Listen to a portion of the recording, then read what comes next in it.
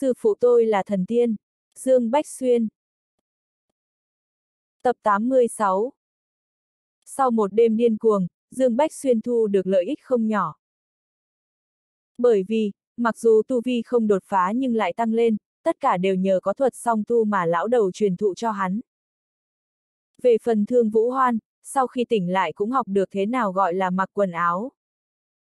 Tối hôm qua, tổ sư thúc đã dạy nàng quá nhiều thứ. Thương Vũ Hoan lần đầu nếm thử trái cấm, bây giờ nàng mới hiểu ánh mắt đáng sợ của tổ sư thúc tối hôm qua thể hiện cho điều gì. Dương Bách Xuyên trải qua ba ngày khoái lạc, dẫn dắt Thương Vũ Hoan thảo luận nhân sinh. Hắn dạy một Thương Vũ Hoan từ một tờ giấy trắng thành một người phụ nữ. Sau ngày thứ tư, Lý Phượng Ngọc mang theo tám phu nhân trở về. Chuyện đầu tiên Lý Phượng Ngọc làm là tìm Dương Bách Xuyên báo cáo chiến quả. Đại điện Bách Hoa Phong, Lý Phượng Ngọc mang vẻ mặt hớn hở nói, tổ sư thúc, lần này ra ngoài, chúng ta có thu hoạch lớn, tìm được rất nhiều linh dược trong đống phế tích hưu ơ thiên nguyên tông. Dứt lời, nàng đưa nhẫn không gian cho Dương Bách Xuyên. Dương Bách Xuyên không cầm, hắn nói, người cất những thứ này đi, xây dựng lại tinh thần môn cần rất nhiều thiên tài địa bảo, khi nào ta cần luyện đan thì sẽ tìm ngươi, à đúng rồi, các ngươi ra ngoài ba ngày, không phải chỉ đến mình Thiên Nguyên Tông chứ. Theo lý mà nói, Thiên Nguyên Tông và tinh thần môn đều ở trên núi tinh thần, Lý Phượng Ngọc mang theo người đi thu dọn chiến trường cũng không cần tới ba ngày mới đúng, vậy nên Dương Bách Xuyên mới hỏi. Lý Phượng Ngọc gật đầu đáp, tổ sư thúc nói đúng, ta dẫn theo mấy nhà đầu này đến Thiên Nguyên Tông, một ngày sau thì tới thành tinh thần, một là để cho bọn họ mở mang kiến thức, hai là hỏi thăm xem đệ tử giải rác của tinh thần môn có ở đó hay không, dù sao thì năm đó tinh thần môn cũng là một trong những môn phái đứng đầu phía nam bắc tinh hạt ngân hà, phân bố khắp nơi trên các thành trì. Có điều, phân bổ ở thành tinh thần đã không có tin tức gì, có lẽ năm đó đã bị tiên nguyên tông diệt trừ, những đệ tử giải rác bên ngoài có thể đã chạy trốn đến nơi khác, ai, chỉ còn lại mấy người chúng ta. Nói tới đây, Lý Phượng Ngọc không khỏi thở dài. Ngay sau đó, nàng như nhớ tới điều gì, à đúng rồi, tổ sư thúc, trước kia, thành tinh thần đều cho tinh thần môn chúng ta cai quản, sau đại chiến năm đó thì bị thiên nguyên tông tiếp quản, hiện tại bọn họ đã bị diệt môn, vậy thì tinh thần môn chúng ta lại trở về vị trí ban đầu, bình thường quản lý thành chỉ đều là những đại gia tộc trong nội thành, tất cả đều phụ thuộc vào tông môn. Ta đang nghĩ, liệu có thể lấy lại thành tinh thần hay không, dù sao thì cũng có trận truyền tống, cộng thêm cống phẩm của những đại gia tộc trong thành, mỗi tháng đều cung cấp một lượng linh thạch nhất định, đủ để chống đỡ vận hành một tông môn, tổ sư thúc, người cảm thấy thế nào? Dương Bách Xuyên nghe Lý Phượng Ngọc nói vậy thì cũng động tâm, nếu như là thật thì đây quả thật là nguồn thu khả quan, nhưng mà hắn đang nghĩ, cho dù thiên nguyên tông bị diệt, chỉ mỗi một tinh thần môn cũng có thể khiến những đại gia tộc kia ỉ lại sao? E là rất khó. Hắn nhìn Lý Phượng Ngọc nói, sợ là không dễ như vậy. Làm thế nào mới khiến cho những đại gia tộc kia phụ thuộc vào tinh thần môn? Hoặc nói đúng hơn là với thực lực hiện tại của thiên thần môn, chúng ta có gì để bọn họ lệ thuộc? Lý Phượng Ngọc nhìn Dương Bách Xuyên, nàng ngượng ngùng nói, tóm lại vẫn phải cần có thực lực, cần một cường giả tỏa chấn, những tông môn hàng đầu tu chân giới đều có tu vi độ kiếp tỏa chấn, cai quản trăm vạn giảm, cộng thêm tông môn đỉnh cấp thì có đại thừa, tu sĩ phi thăng tỏa chấn, cai quản một phần nhỏ của tinh hạt. Ở trên tông môn hàng đầu và tông môn đỉnh cấp chính là thánh địa, những tông môn ở thánh địa mới là thế lực đứng đầu chân chính của tu chân giới, tọa chấn cho thánh địa là địa tiên, hơn nữa đều là những địa tiên thâm sâu khó lường, những thánh địa này đều cai quản cả một tinh hạt, chín đại tinh hạt của tu chân giới đều có chín thánh địa. Tinh thần môn chúng ta có thể xưng là tông môn hàng đầu là bởi vì sư tổ gia có tu vi vô cùng cường đại, thời đại tông môn hưng thịnh có tới ba vị địa tiên, đáng tiếc là sư tổ gia khai phái đã biến mất mấy nghìn năm, công thêm độ tán tiên kiếp thất bại ngã xuống, sau khi tông môn ngày càng suy thoái mới bị thiên nguyên tông đục nước béo cò. Mặc dù, tinh thần môn tọa lạc tại vùng giao nhau của phía bắc và phía nam tinh hạt ngân hà, nhưng lại chiếm giữ ưu thế tuyệt đối, dãy núi tinh thần nằm bắc ngang qua nam bắc, kéo dài hàng vạn dặm, ưu thế địa lý được ông trời yêu ái, trong hàng trăm vạn dặm của núi tinh thần chỉ có tinh thần môn, không còn thêm tông môn nào nữa. Đương nhiên, đó là thời kỳ huy hoàng, lần này ta ra ngoài thăm dò mới biết được, trong 5.000 năm nay, sau khi thiên nguyên tông thay thế tinh thần môn chúng ta, ở biên giới Nam Bắc đã xuất hiện thêm 5 tông môn hạng 2, nhưng bọn họ đều phụ thuộc vào Thiên Nguyên Tông. Hiện tại Thiên Nguyên Tông đã diệt môn, điều ta lo lắng là, năm tông môn dưới chướng Thiên Nguyên Tông kia sẽ ra tay tiếp quản thành tinh thần, thậm chí là tranh đoạt vị trí cai trị, lật đổ địa vị Thiên Nguyên Tông để tiến lên tông môn hạng nhất, dù sao thì bọn họ cũng không biết tinh thần môn đã trở lại, cho dù biết thì với thực lực hiện tại của chúng ta, bọn họ cũng sẽ không e ngại, nếu làm không tốt thì sẽ dẫn tới họa sát thân. Tổ sư thúc, ý của ta là, có thể mời vị cao thủ nào đó của tông môn người đến tọa chấn cho tinh thần môn không? Nếu như có cao thủ tọa chấn, cho dù năm tông môn kia biết được tình hình hiện tại của tinh thần môn thì cũng không dám lỗ máng, bọn họ sẽ phải ngoan ngoãn lệ thuộc vào chúng ta. Dương Bách Xuyên nghe Lý Phượng Ngọc nói xong, hắn gật đầu cười khổ, vị trưởng bối kia của ta như rồng thấy đầu không thấy đuôi, không liên hệ được, trừ khi tự người đó tới tìm ta, lần này tới tinh thần môn cũng là người đó tìm ta, vẫn nên nghĩ cách khác thì hơn. Dương Bách Xuyên hiểu, nếu như làm theo cách Lý Phượng Ngọc nói, có cao thủ diệt trừ được cả một tông môn ở đây, tinh thần môn sẽ lại cai quản biên giới trăm vạn dặm Nam Bắc, quản lý thành tinh thần hay dãy núi tinh thần sẽ không còn là vấn đề. Nhưng mấu chốt là cái vị cao thủ kia chính là sư phụ Vân Thiên Tà của hắn, một tàn hồn bên trong bình càn khôn, lần này lão đầu vì hủy diệt Thiên Nguyên Tông đã bị tổn thương nguyên khí nặng nề, lâm vào trạng thái ngủ say, hắn đi đâu tìm cao thủ bây giờ. Lý Phượng Ngọc nghe được câu trả lời của Dương Bách Xuyên, vẻ mặt nàng thất vọng, nhưng nàng cũng biết cao thủ có khả năng hủy đi cả một tông môn, cho dù ở đây thì cũng không hạ mình đi quan tâm những chuyện này, nàng cảm thấy bất lực. Dương Bách Xuyên nhớ lại những lời lúc trước của Lý Phượng Ngọc, hắn biết tinh thần môn vừa trở lại trên thế gian rất có khả năng sẽ biến mất ngay lập tức, bởi vì tinh thần môn không còn ai nữa, chỉ có Lý Phượng Ngọc tu vi độ kiếp sơ kỳ mang theo chín nữ nhân trong sáng như một tờ giấy trắng. Sớm muộn gì cũng sẽ bị những tông môn hạng 2, hạng 3 ở hai vùng Nam Bắc diệt trừ, cho dù tinh thần môn có tranh đoạt vị trí cai quản của biên giới Nam Bắc hay không thì đều sẽ bị cuốn vào. Nhưng nếu không tranh được thì sẽ phải rời khỏi nơi này, hắn cũng phải đi, hắn còn phải gánh vác trọng trách chiếu cố tinh thần môn mà lão đầu giao phó, nhưng hiện tại tinh thần môn chỉ còn lại 10 người phụ nữ thì có thể làm được gì? Ý của Lý Phượng Ngọc là muốn dựa vào hắn, trọng trách này đẩy tới đẩy lui thì hắn đều phải gánh vác, ai bảo hắn là một đại nam nhân đây. Nhưng nếu đi thì biết đi đâu bây giờ? Nghĩ lại, mang theo 10 nữ nhân như hoa như ngọc thực lực không mạnh, đi đâu cũng không an toàn. Trong lúc nhất thời, đầu Dương Bách Xuyên phát đau.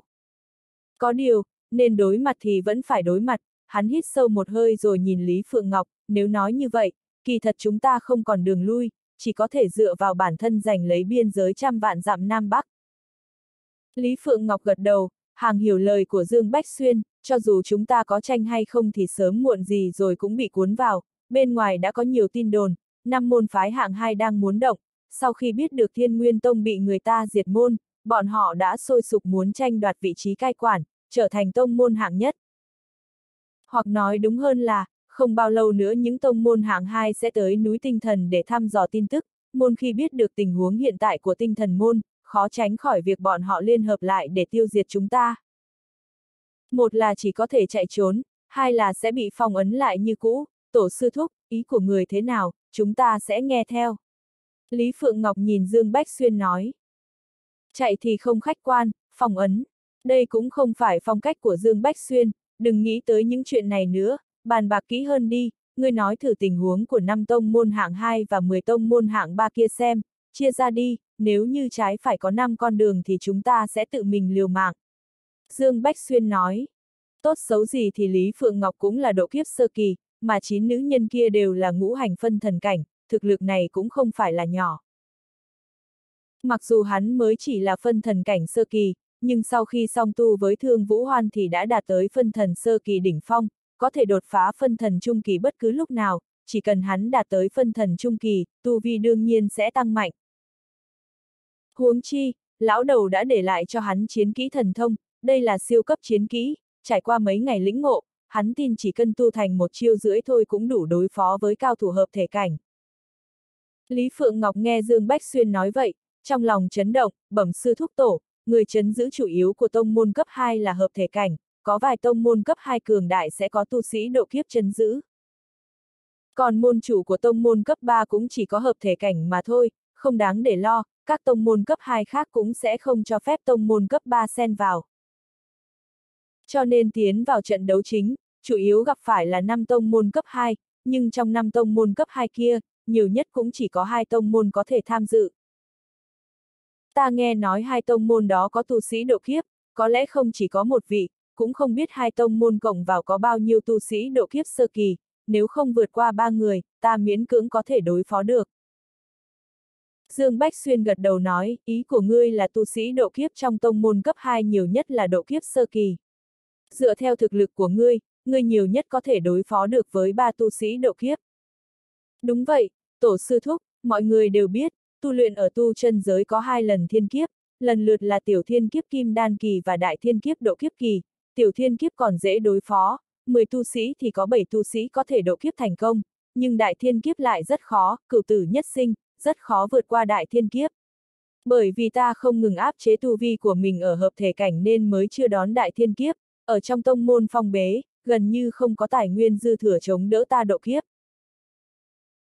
Cho nên ta đã áp chế cảnh giới ở hợp thể cảnh hơn 2.000 năm, 500 năm trước ta không thể áp chế được mới độ kiếp. Có thể nói đại thiên kiếp của ta dày nặng hơn những tu sĩ khác, may mắn vượt qua đại thiên kiếp, mới đạt được tu vi độ kiếp sơ kỳ. Nhưng bởi vì không có tài nguyên tu luyện nên vẫn luôn dừng lại ở độ kiếp sơ kỳ, nếu ta có thể bước vào độ kiếp trùng kỳ thì không cần lo lắng mấy tông môn cấp 2 kia có bao nhiêu tu sĩ độ kiếp sơ kỳ. Dù sao không phải ai cũng có thể thành công vượt qua đại thiên kiếp đạt đến cảnh giới độ kiếp, ở trong tu chân giới đều là lông phượng sừng lân, có quá nhiều tu sĩ vì độ thiên kiếp thất bại mà thành binh giải tán tiên, con đường tán tiên càng thêm gian nan.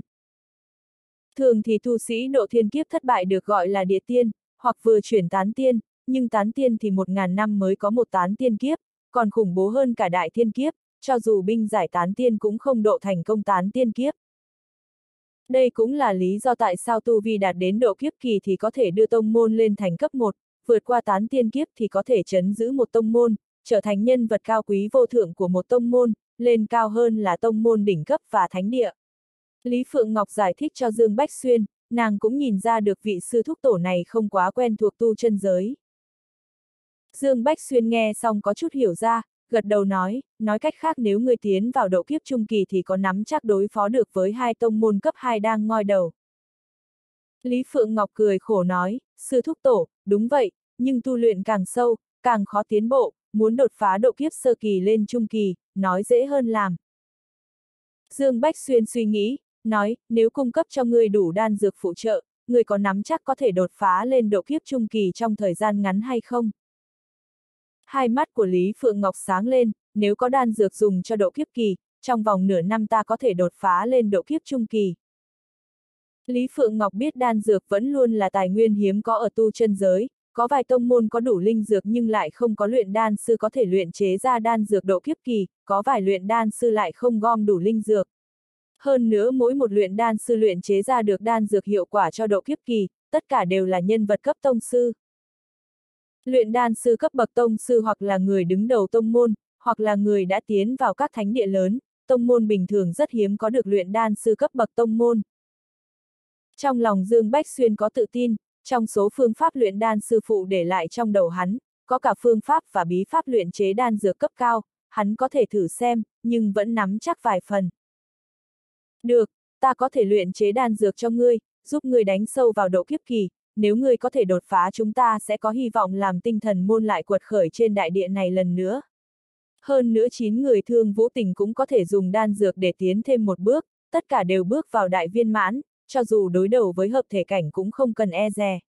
Dương Bách Xuyên nói với Lý Phượng Ngọc. Sư thúc tổ, ngài còn có thể luyện chế được đan dược cấp cao. Lý Phượng Ngọc có chút kinh ngạc. Thật ra ta đã có thể luyện chế được đan dược cấp cao từ lâu, nhưng chỉ từng luyện chế đan chân khí cao dai, còn chưa nếm thử đan dược tăng lên tu vi, nhưng có lẽ sẽ không có vấn đề gì, hiện tại chỉ thiếu một loại dược chính thì ta có thể đạt được thành tựu nhất định ở con đường luyện đan. Dương Bách Xuyên khoe khoang.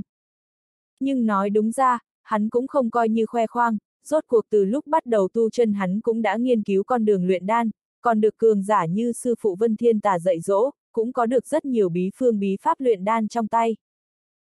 Nói xong, Dương Bách Xuyên lật tay lấy ra một viên đan chân khí. Ban đầu Lý Phượng Ngọc nghe Dương Bách Xuyên nói hắn có thể luyện chế đan dược cấp cao, trong lòng vẫn có chút không tin, nhưng khi Dương Bách Xuyên lấy ra đan chân khí hàng thật giá thật, Lý Phượng Ngọc tin, mặc dù đan chân khí là đan dược thấp nhất trong số đan dược cấp cao, nhưng nó cũng là đan dược cấp cao. Nàng tin tưởng vị sư thúc tổ này là luyện đan sư, nghĩ đến việc Dương Bách Xuyên là luyện đan sư cao giai, Lý Phượng Ngọc kích động run rẩy, có một vị sư thúc tổ bảo bối như vậy ở, còn lo gì về việc không thể đột phá. Còn lo gì về việc tinh thần môn quật khởi. Sư thúc tổ, Lý Phượng Ngọc vô cùng kích động, run rẩy hỏi, thật sự có thể luyện chế đan dược cấp cao. Nói xong Lý Phượng Ngọc cảm thấy không ổn, vội vàng nói, không không không, ý ta là sư thúc tổ muốn luyện chế đan dược gì. Cần linh dược gì, ta sẽ nghĩ mọi cách để tìm được. Dương Bách Xuyên nói, đan dược ta muốn luyện chế là, đan triều nguyên, ngoại trừ việc chứa đựng lượng chân khí khổng lồ còn có tác dụng phá vỡ vách tường, đáng tiếc chỉ thiếu một loại dược chính là, cỏ ngũ khí triều nguyên, loại cỏ này được kết tinh từ linh khí ngũ hành, nạp ánh sáng mặt trời, chỉ có nơi có thuộc tính ngũ hành mới có thể dựng dục ra nó. Người biết nơi nào hội tụ ngũ khí không? Hoặc thương hội nào có thể mua được cỏ ngũ khí triều nguyên không? Lý Phượng Ngọc nhíu mày, sư thúc tổ, ta cũng từng nghe nói qua cỏ ngũ khí triều nguyên, nó từng được ghi chép trong điển tịch của tông môn, từng có một vị tiền bối tinh thần môn gặp được, nhưng vì vị tiền bối đó không am hiểu luyện đan nên đã bán cỏ ngũ khí triều nguyên cho thương hội, một gốc cỏ ngũ khí triều nguyên đã được thương hội bán đấu giá với giá hơn một vạn linh thạch thượng phẩm. Nơi sản sinh ra cỏ ngũ khí triều nguyên rất đặc thù, cho nên cho dù có thương hội có, chúng ta cũng không mua nổi, ta biết nơi sản sinh ra nó, dù sao cũng từng được ghi lại, hiện tại ta đi tìm. Từ từ, người không thể đi, nếu núi tinh thần có nơi có ngũ hành, chắc chắn cũng sẽ có cỏ ngũ khí triều nguyên, vẫn nên để ta đi, ta có cách tìm được, hiện tại ngươi cũng không thể rời khỏi tinh thần môn, phải ở lại chấn giữ, chẳng may những tông môn kia tìm đến, tu vi của ngươi mạnh nhất cũng dễ đối phó với bọn họ. Hơn nữa ngươi ở lại chuẩn bị tu luyện đột phá, chờ ta luyện chế ra đan triều nguyên, chúng ta mới có thể đứng vững gót chân trên đại điện này. Luyện đan tìm dược cứ giao cho ta, ngươi chỉ cần nói cho ta vị trí phương hướng là được. Dương Bách Xuyên nghĩ lại cảm thấy chính mình đi thì thích hợp hơn, bởi vì hắn hiểu biết về linh dược, cũng chuẩn bị mang theo trồn nhỏ, có thiên phú tìm bảo của trồn nhỏ, chắc chắn sẽ tìm được cỏ ngũ khí triều nguyên.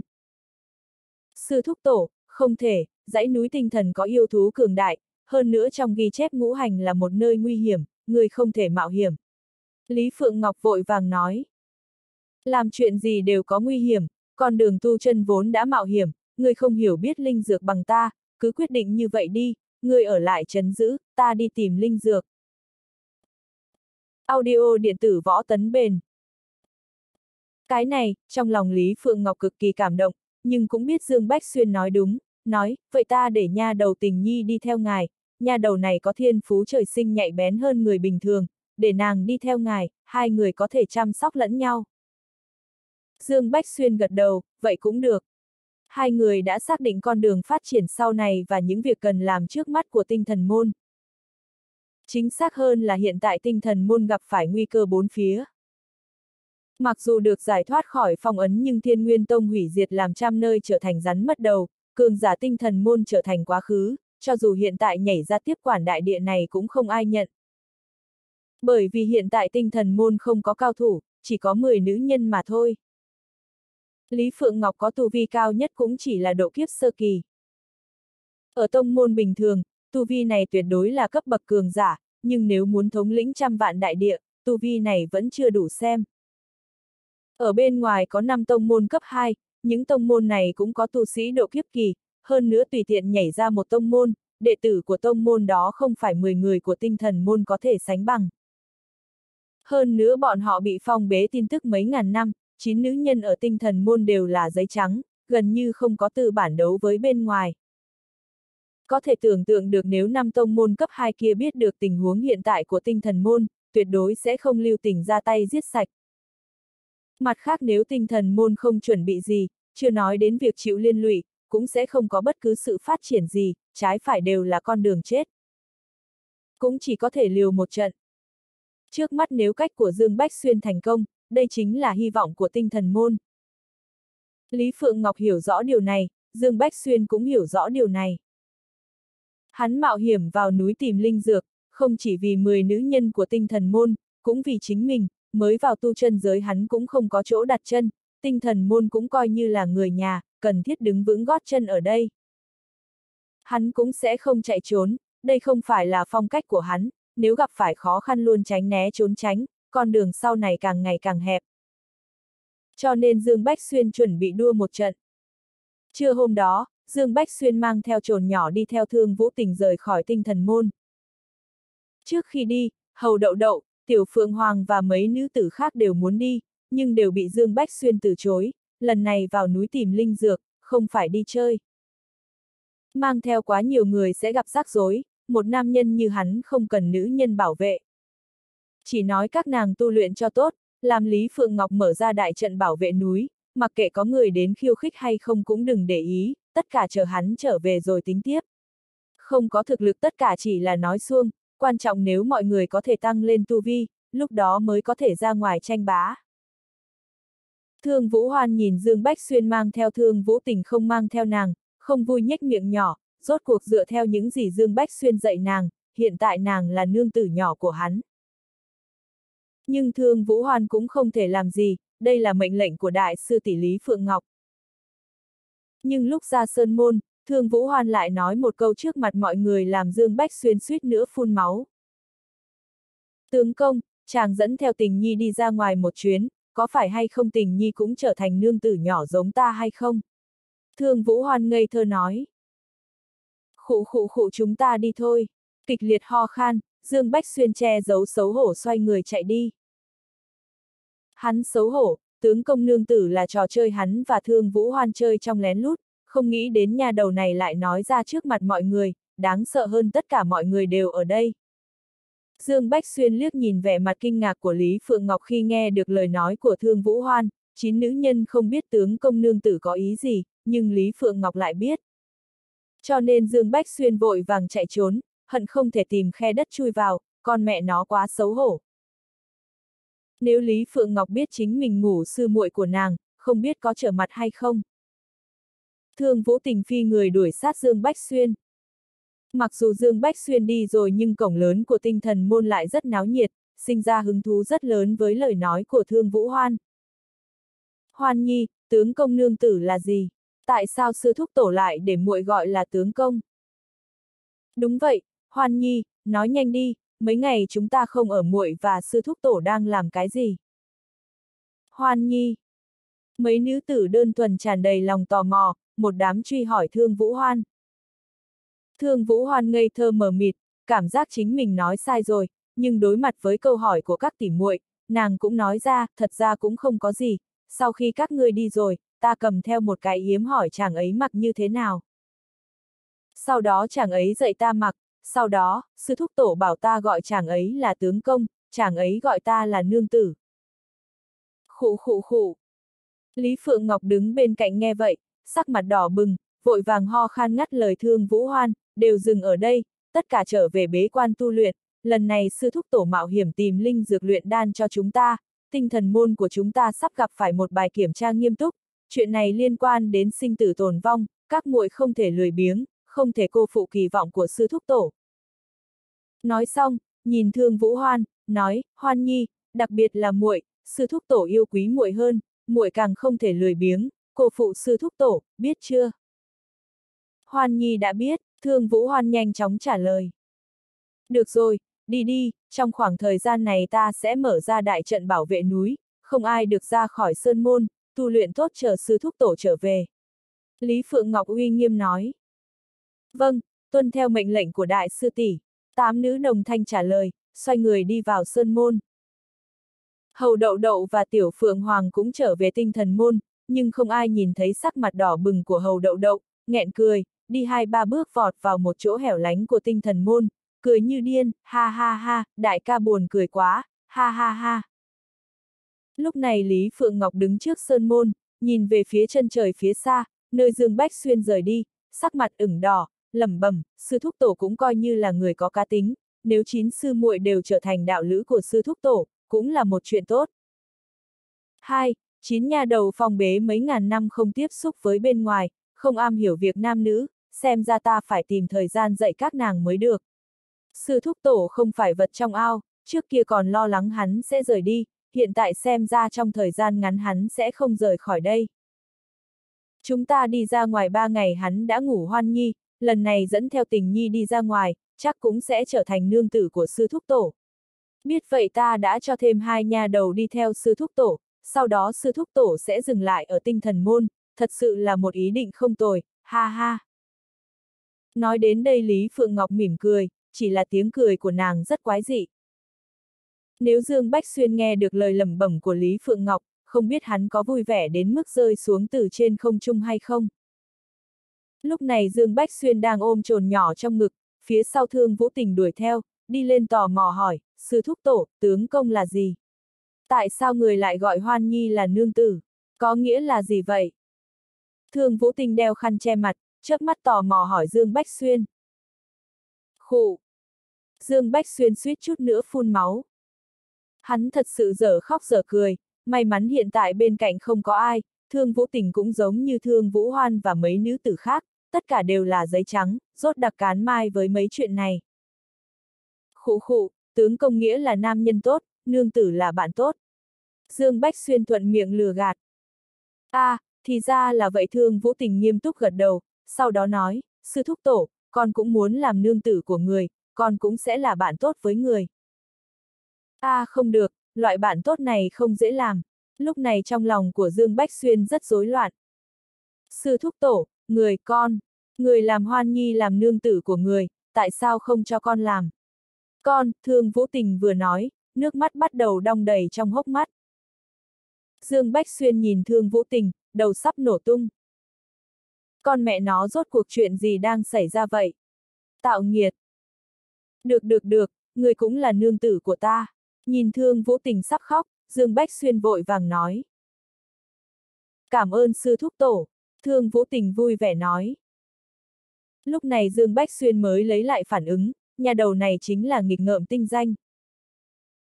Không còn gì để nói, trong lòng thầm nói, chờ sư thúc tổ dạy ngươi, xem ngươi còn muốn làm nương tử của ta hay không. Hai người bay tiếp, Dương Bách Xuyên nhìn thương đeo khăn che mặt, tò mò hỏi, tình nhi, tại sao người lại đeo khăn che mặt? Trong suy nghĩ của hắn, có lẽ trên mặt nha đầu này có vết bớt hay gì đó, cho nên luôn đeo khăn che mặt. Mười người các nàng bị phong ấn trong tinh thần môn mấy ngàn năm, không gặp người ngoài, đeo khăn che mặt hay không cũng giống nhau, có ai chê cười người một nhà đâu đúng không?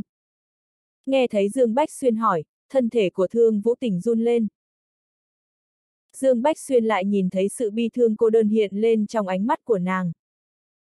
Ngay sau đó thương vũ tình nhìn Dương Bách Xuyên, nhỏ giọng nói, sư thúc tổ, con lớn lên xấu, trên mắt có vết bớt rất dọa người, cho nên vẫn luôn đeo khăn che mặt, sư thúc tổ, liệu người có ghét con hay không? À sao có thể chứ? Mọi thứ trời sinh đều do cha mẹ cho, không phải ngươi sai, thật ra ngươi không cần để ý mấy cái này. Ngoài miệng nói vậy, nhưng trong lòng lại nói thầm, thật sự bị ta đoán chúng, quả nhiên là xấu. Nhưng người tu chân sẽ không để ý điều này. Thật sự, thương vũ tình chớp mắt hỏi. Tất nhiên là thật, hiện tại ngươi gỡ khăn che mặt xuống, sư thúc tổ sẽ không ghét bỏ ngươi. Dương Bách Xuyên biết thỉnh thoảng trong lòng thương vũ tình sẽ tự ti, nên nghiêm túc nói chuyện với nàng. Quả nhiên thương vũ tình rất nghe lời, gỡ khăn che mặt xuống. Chỉ một cái chớp mắt thôi nhưng lại khiến cả người Dương Bách Xuyên run lên, suýt chút nữa rơi xuống từ không trung. Trong mắt hắn, vết bớt trên mặt thương vũ tình không giống người thường, nhưng cũng tuyệt đối không phải xấu. Dương Bách Xuyên cảm thấy vô cùng kỳ quái, chính xác hơn vết trên mặt của thương vũ tình rất yêu dị, hơn nữa vẻ yêu dị này còn mang theo cảm giác lạnh gáy, sợ hãi đến tận linh hồn, không hề liên quan đến chữ xấu.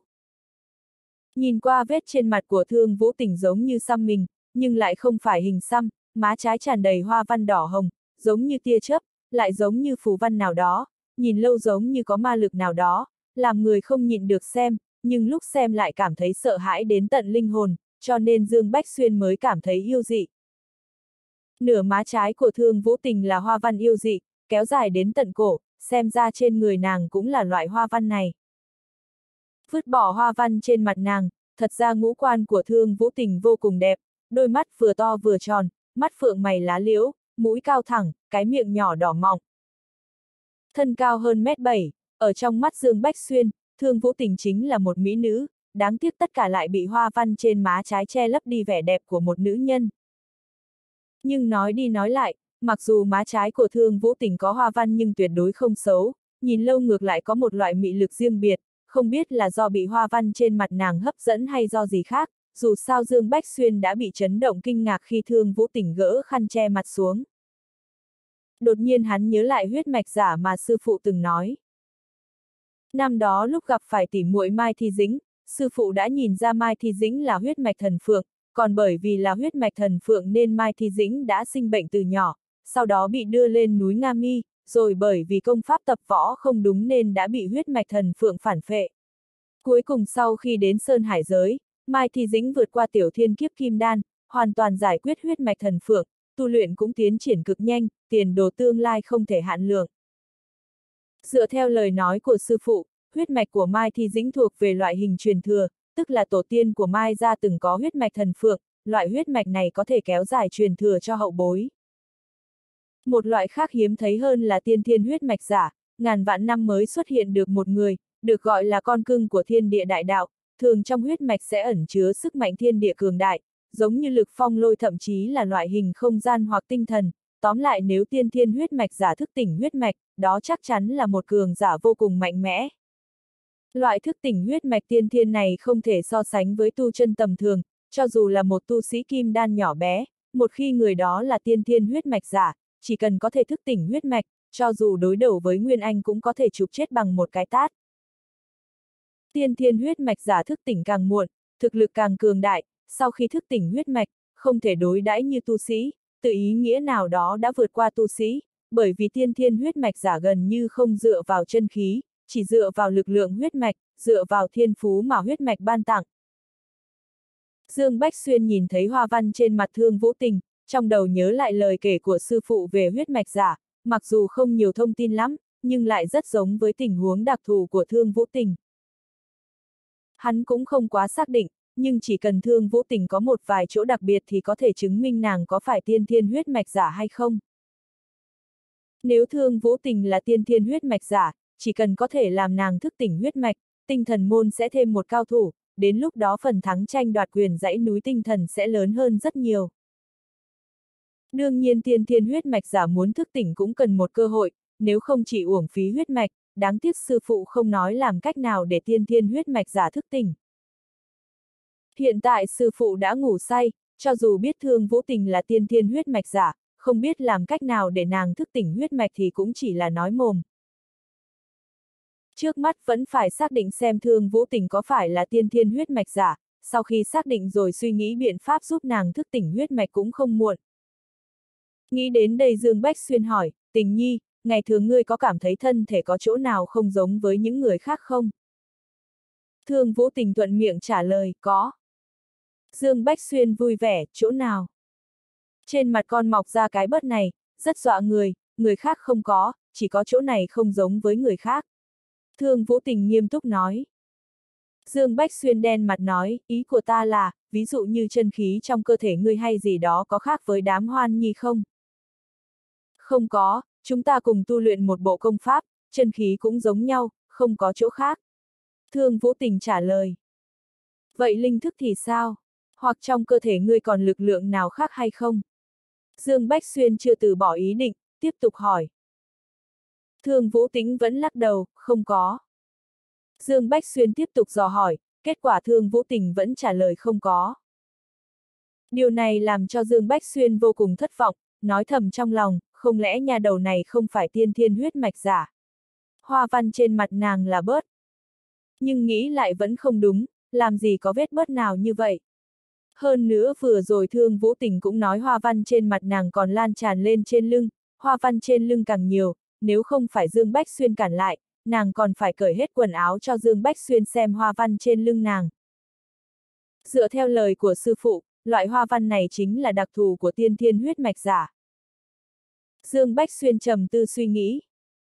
Theo lời sư phụ, chỉ cần là tiên thiên huyết mạch giả, cho dù huyết mạch không thức tỉnh cũng sẽ có sức mạnh đặc thù khác hẳn với người thường, hoặc có chỗ đặc biệt, nhưng hỏi rất nhiều thương vũ tình vẫn nói không, điều này làm cho Dương Bách Xuyên bắt đầu nghi ngờ rốt cuộc nàng có phải là tiên thiên huyết mạch giả hay không. Đúng lúc này thương vũ tình chỉ vào ngọn núi phía xa, nói, sư thúc tổ, chúng ta phải bay xuống đi bộ, đại sư tỷ nói lối vào của núi ngũ hành ở hẻm núi tiễn đao, phải đi bộ xuyên qua đó, đi 8.000 dặm mới có thể đến được núi ngũ hành. Trên hẻm núi tiễn đao có lôi vân nên không thể phi hành, cũng có yêu thú chim bay hung hãn, phi hành qua đó quá nguy hiểm. Dương Bách Xuyên bay xuống, trước khi đi, Lý Phượng Ngọc đã giao bản đồ được một vị tiền bối tinh thần môn từng đi qua núi ngũ hành cho hai người, thương vũ tình nhớ rất rõ. Chỉ trong chốc lát hai người đã đi đến một mảnh đất hoang bằng phẳng. Đúng lúc Dương Bách Xuyên định đặt chân, đột nhiên thương vũ tình nói, sư thúc tổ, đừng đặt chân. Dương Bách Xuyên sửng sốt, dừng lại trên không, nhìn nàng hỏi tại sao. Lúc này thương vũ tình cười nói, con cảm nhận được trên đại địa này có động tính của cỏ nhất mộc, dưới chân người có một tổ côn trùng thợ trồng hoa đáng yêu, ở tinh thần môn cũng có côn trùng thợ trồng hoa, chỉ cần nơi nào có hoa nơi đó sẽ có chúng, chúng nó là người bảo vệ hoa, chuyên ăn côn trùng phá hoại hoa, rất đáng yêu, người đặt chân xuống sẽ dẫm chết một đống thợ trồng hoa. Dương Bách Xuyên cười, cảm giác nhà đầu này rất đáng yêu, có lòng thiện lương này cũng là chuyện tốt. Bay người thay đổi chỗ đặt chân, cẩn thận nhìn về phía trước, quả nhiên bên trên đống bùn đất có một hang sâu rậm rạp, đủ mọi loại màu sắc, nhỏ như cát sỏi, côn trùng nhỏ như vậy, thương vũ tình lại có thể cảm nhận được chúng dù cách vài trăm thước, thần hồn cũng rất cường đại. Nghĩ đến đây, trong đầu Dương Bách xuyên lóe lên một suy nghĩ, hắn vẫn luôn ở bên cạnh thương vũ tình nhưng lại không phát hiện nàng sử dụng linh thức quan sát mặt đất. Nếu vậy, một suy nghĩ hiện lên trong đầu hắn, chỗ đặc biệt của thương vũ tình, hoặc nói cách khác huyết mạch đặc thù của nàng xuất hiện. Năng lực cảm nhận cường đại, đây còn không phải là chỗ độc đáo hay sao? Lấy lại tinh thần, Dương Bách Xuyên xác nhận lại, tình nhi, vừa rồi ngươi có sử dụng linh thức để quan sát côn trùng trồng hoa trên mặt đất không? Thương Vũ Tình thuận miệng nói, không có, từ khi sinh ra con đã có lực cảm nhận cường đại, đại sư tỷ nói có lẽ do thần hồn của con mạnh, dùng linh thức hay không cũng như nhau, dù sao có lúc lực cảm nhận của con dùng tốt hơn linh thức.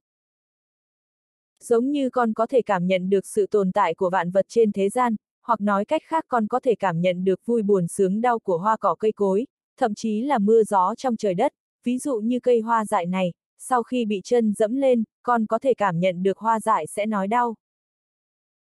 Nhưng mấy người đại sư tỷ lại không tin con, còn nói đầu óc con lúc nào cũng ảo tưởng, sư thúc tổ, con thật sự không lừa người, người tin tưởng con sao. Dương Bách Xuyên nghe xong, cả người chấn động, ta tin, ta tin tưởng hơn bất cứ ai, ha ha, nhà đầu, có thể ngươi là tiên thiên huyết mạch giả, ngàn vạn năm mới có được một người. Lúc trước ta vẫn luôn hỏi ngươi có điểm nào khác với người khác không, tại sao ngươi không nói lực cảm nhận của người khác hẳn với người thường chứ? Hại ta tự hỏi cả ngày, ha ha. Thật ra vừa rồi con muốn nói, nhưng sợ người giống như mấy người đại sư tỷ, không tin con cho nên không dám nói, cuối cùng cũng có người tin tưởng lời của con, hi hi. Thương Vũ Tình vui vẻ cười, sau đó hỏi, sư thúc tổ, tiên thiên huyết mạch giả là gì? Dương Bách Xuyên nhếch miệng cười nói, tiên thiên huyết mạch giả là con cưng của thiên đạo, một khi thức tỉnh huyết mạch, tu luyện sẽ càng nhanh, tóm lại ta cũng không quá rõ ràng, dù sao ngươi biết tiên thiên huyết mạch giả rất cường đại là được. Nếu ngươi thành công thức tỉnh thiên phú huyết mạch tiên thiên thì có thể giúp tinh thần môn quật khởi, lại lần nữa đứng vững gót chân trong đại địa này. Thương Vũ Tình nghe Dương Bách Xuyên nói vậy, kích động nói, sư thúc tổ, thật ư. Thật sự, Dương Bách Xuyên cười nói. Cầu xin sư thúc tổ mở huyết mạch giúp con đi. Ở trong lòng thương Vũ Tình, có thể giúp đỡ đại sư tỷ làm tinh thần môn đứng lên, quật khởi, nàng vui mừng hơn bất cứ điều gì. Từ nhỏ đến lớn, trong suốt mấy ngàn năm qua, Lý Phượng Ngọc dạy cho các nàng lý niệm về tông môn, sống vì tông môn chết vì tông môn, hơn nữa đối với 9 người thương vũ tình, không có tông môn không có các nàng.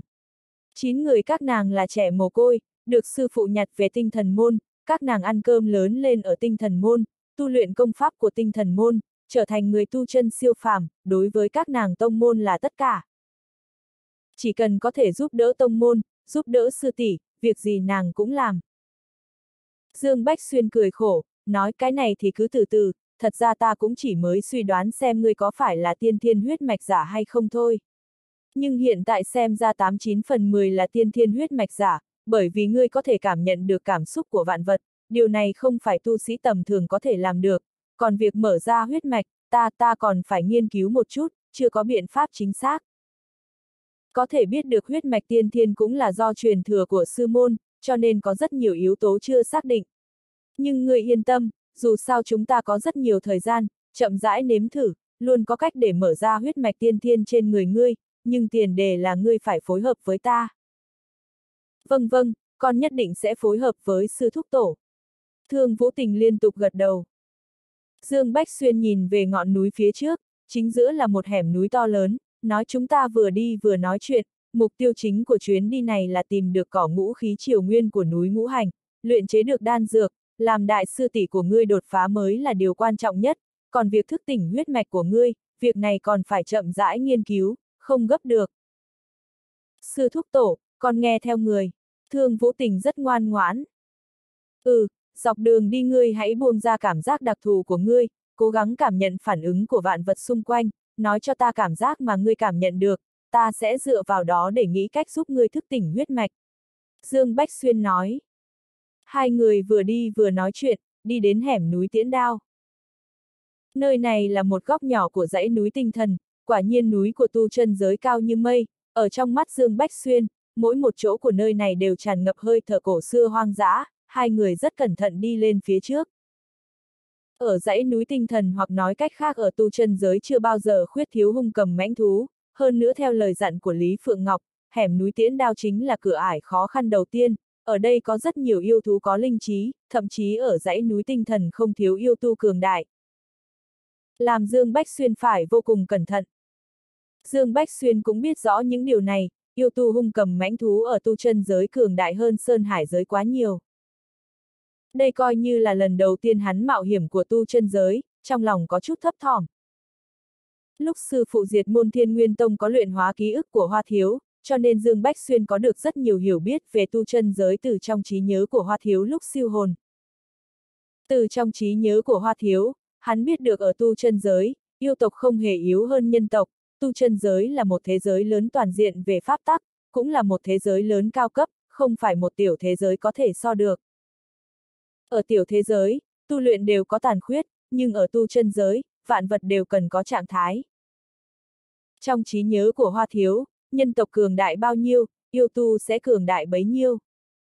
Đơn giản mà nói, tu luyện ở tu chân giới có cấp bậc, tất cả đều có thể tương ứng với tất cả các tộc đàn. Lấy ví dụ về cấp bậc tu luyện của người tu chân, trước kia hắn từng hỏi sư phụ Vân Thiên Tà, sư phụ chỉ nói cho hắn đến giai đoạn hợp thể cảnh. Nhưng đến tu chân giới, xem qua ký ức của Hoa Thiếu, cuối cùng tu chân giới cũng có hiểu biết toàn diện về cấp bậc tu luyện của người tu chân. Những gì Dương Bách Xuyên nhìn đến trong ký ức của Hoa Thiếu đều giống như những gì sư phụ nói cho mình, đều bắt đầu từ cảnh giới luyện khí, sau đó là trúc cơ, kim đan, nguyên anh, xuất khiếu, phân thần, hợp thể, độ kiếp, đại thừa và phi thăng. Mười cấp bậc lớn ở tu chân, cảnh giới phi thăng là đỉnh của người tu chân, từ trong trí nhớ của Hoa Thiếu, sau khi tu vi đạt đến cảnh giới phi thăng sẽ phi thăng lên tiên giới. Nhưng đây chỉ là thần thoại, dù sao từ trong trí nhớ của Hoa Thiếu, chưa gặp được ai có thể thực sự tu luyện phi thăng lên tiên giới, bởi vì rất khó, tất cả đều tu luyện đến cảnh giới độ kiếp, sau đó thất bại ở lúc độ đại thiên kiếp. Độ kiếp thất bại được gọi là binh giải tán tiên, đây là con đường sống mà đại đạo ban cho, nhưng cho dù tu luyện tán tiên, mỗi một ngàn năm sẽ có một tán tiên kiếp cường đại, thực sự muốn mạng của tán tiên. Vậy nên mới nói phi thăng thành tiên là thần thoại, ít nhất ở trong ký ức của Hoa Thiếu, gần vạn năm qua tu chân giới chưa truyền đến có người có thể phi thăng tiên giới. Tất nhiên đây chỉ là hiểu biết về cấp bậc của người tu chân, tu luyện mỗi một cảnh giới lại là một chuyện khác. Từ trong trí nhớ của Hoa Thiếu, người tu chân có bao nhiêu cấp bậc, có bao nhiêu cao thủ thì yêu tộc cũng tương tự như vậy. Từ trước đến nay yêu tộc luôn lấy rừng núi là nhà, Dương Bách Xuyên biết chuyến đi này còn nguy hiểm hơn những gì hắn nghĩ, nhưng nếu đã đến cũng chỉ có thể căng ra đầu đi tiếp, hắn cần thiết phải tìm được cỏ ngũ khí triều nguyên. Đây không chỉ vì Lý Phượng Ngọc và chín người thương vũ tình, còn vì chính hắn. Nhìn hẻm núi tiễn đao phía xa, hai người đi nửa giờ mới đến được cửa của Sơn Cốc.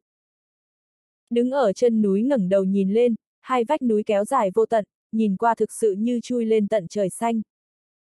Hai sườn núi đều xanh um tươi tốt, cổ thụ che trời, ngay cả trong sơn cốc cũng có rất nhiều cổ thụ che trời mà Dương Bách Xuyên chưa từng gặp qua, liếc mắt không nhìn thấy đầu. Dựa theo tin tức trong bản đồ, hẻm núi tiễn đao kéo dài trăm dặm.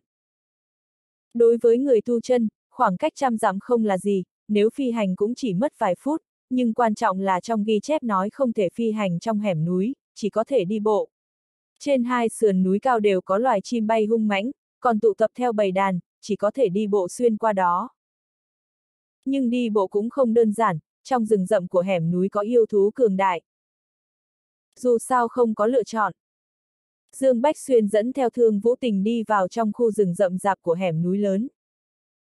Ngay từ đầu di chuyển rất cẩn thận, cũng may không có chuyện gì xảy ra, nhưng gặp phải một vài động vật nhỏ, đều là động vật hoang dã chưa mở ra linh trí. Sợ nhất là gặp được yêu thú có linh trí, thậm chí là yêu tu.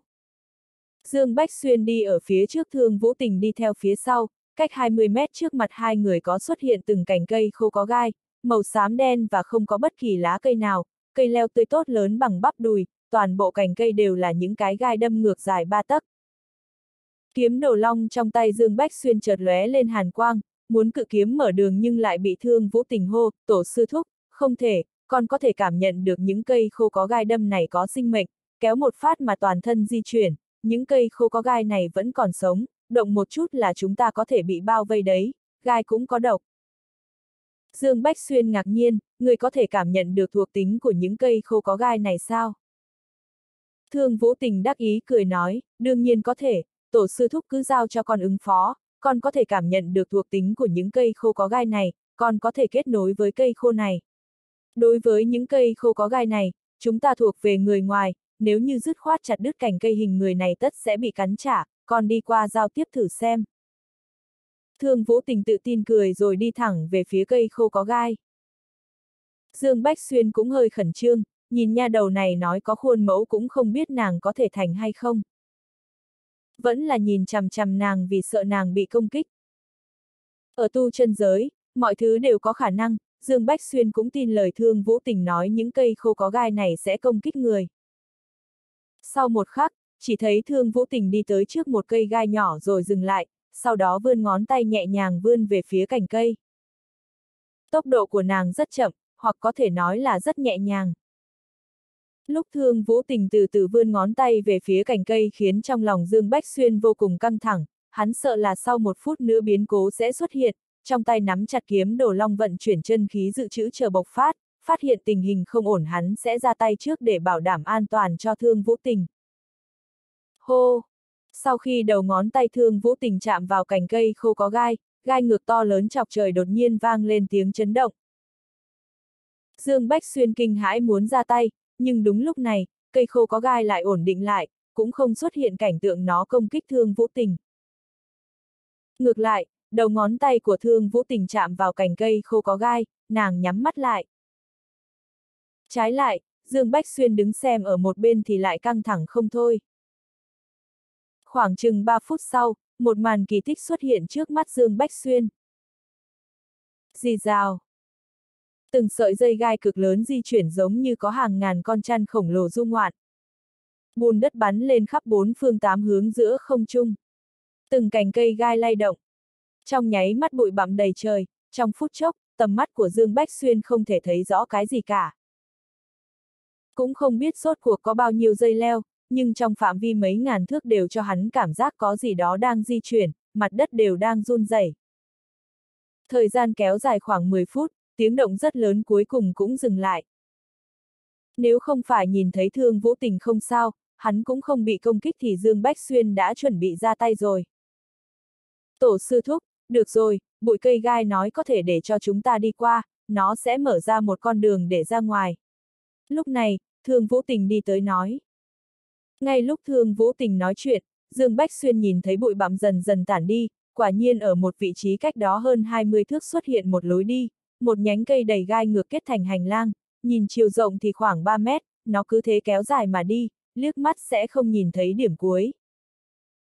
Dương Bách Xuyên âm thầm ngạc nhiên, hiện giờ hai mắt hắn sáng rực nhìn thương vũ tình, trong lòng nói thầm, nhà đầu này quả thực chính là kỳ bảo nha, sau này dẫn nàng đi theo thám hiểm thì chắc chắn mọi việc đều thuận lợi, có thể ứng phó hết bao nhiêu phiền phức, phát tài rồi, ha ha.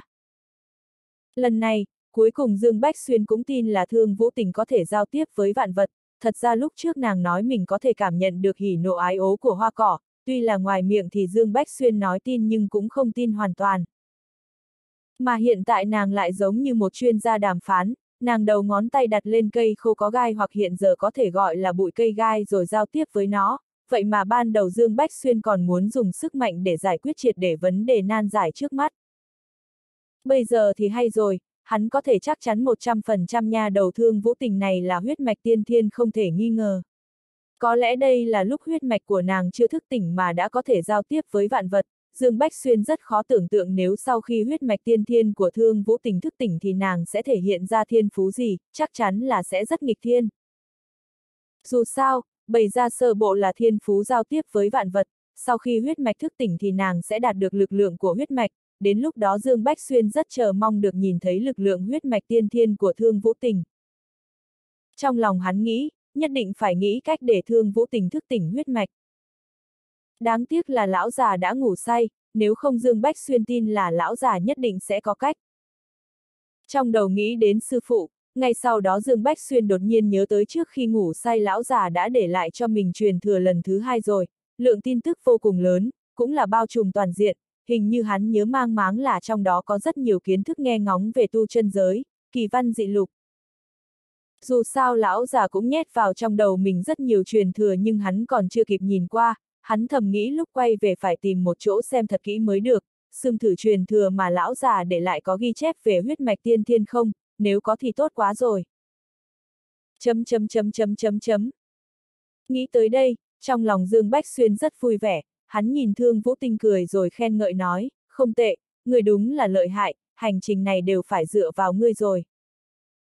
Được người khác khen thì ai mà chả vui mừng, thương vũ tình cũng không ngoại lệ, nghe được Dương Bách Xuyên khen thì hì hì cười cực kỳ vui vẻ. Tổ sư thúc yên tâm, con nhất định cố gắng hết sức. Đây là lần đầu tiên thương vũ tình cảm giác mình được thể hiện tài năng, từ nhỏ nàng đã bị các sư tỷ các nói là ảo tưởng nói bậy, quan trọng là bây giờ nàng được tổ sư thúc khen ngợi nên rất vui vẻ. Phát hiện thiên phú đặc biệt của thương vũ tình, tâm trạng của Dương Bách Xuyên cũng không tệ, nhưng nhìn hành lang treo đầy gai ngược, hắn vẫn hơi lo lắng hỏi, qua cái lối đi này không sao đấy chứ. Tổ sư thúc yên tâm, cây gai làm cho người ta cảm giác rất đáng sợ, thật ra cây gai này rất ôn hòa, nó nói, chỉ cần chúng ta không động đến đồ đạc trong rừng cây gai thì chắc chắn sẽ không tấn công chúng ta. Thương Vũ Tình vô cùng tin tưởng nói. Dương Bách Xuyên gật gật đầu, vậy thì được rồi, chúng ta đi thôi. Lần này Thương Vũ Tình dẫn đường, còn trồn nhỏ hương hương thì ngồi trên vai Dương Bách Xuyên, vừa bước vào, cây gai tự động mở ra lối đi, chẳng mấy chốc đã đi về phía trước. Nhìn toàn bộ hành lang lối đi được từng cành cây gai mở ra cũng có một sức hấp dẫn lạ thường, thế nhưng nhìn từng cây có gai ngược vẫn khiến Dương Bách Xuyên không khỏi run rẩy. nếu như bị những thứ này cái gai này đâm vào người nhất định sẽ rất đau nhỉ. Theo như Thương Vũ Tình nói, toàn bộ rừng gai dài 30 dặm, chỉ cần thông qua là coi như đi ra khỏi thung lũng rồi. Nhưng sau khi có thương vũ tình giao tiếp, toàn bộ hành lang lối đi đều là thẳng tắp, bọn họ cứ thế mà đi, tốc độ cũng rất nhanh, hành lang dài 30 dặm mà hai người đi chẳng mấy chốc đã có thể ra ngoài.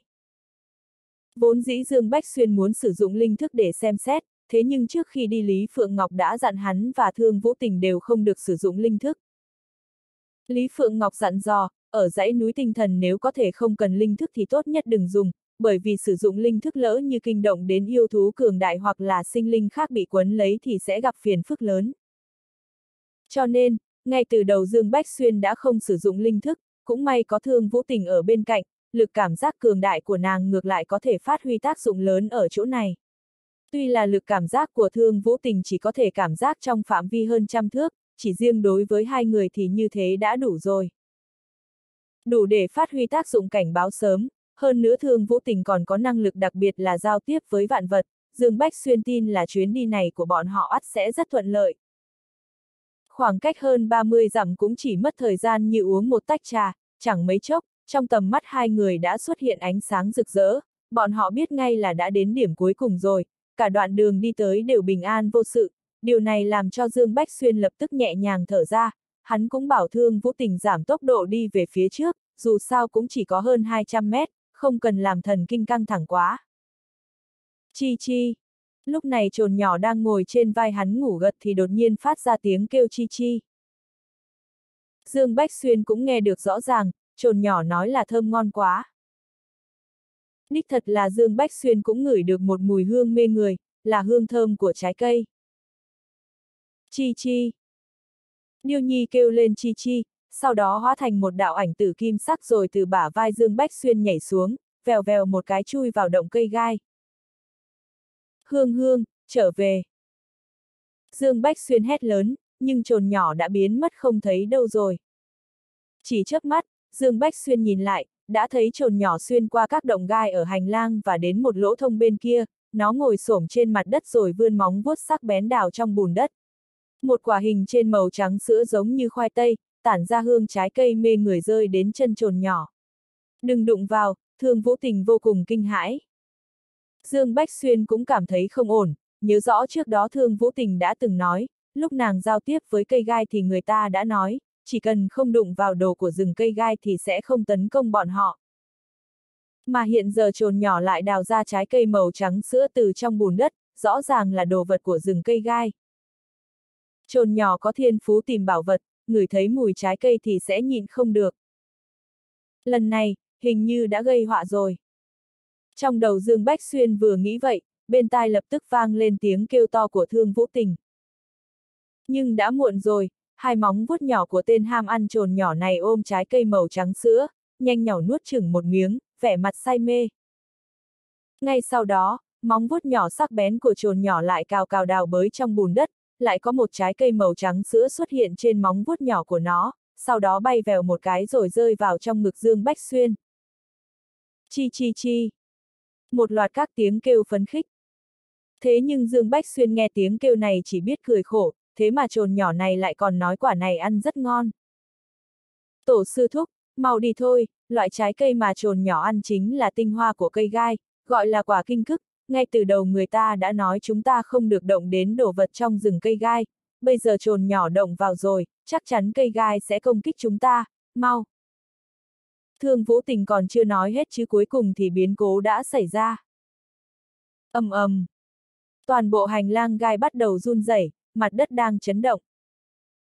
Tiếp theo, trong hành lang, từng cành gai to khỏe lật lên, hành lang gai phía trước lập tức vặn vẹo, từng sợi dây gai nhanh như tia chớp đánh về phía bọn họ.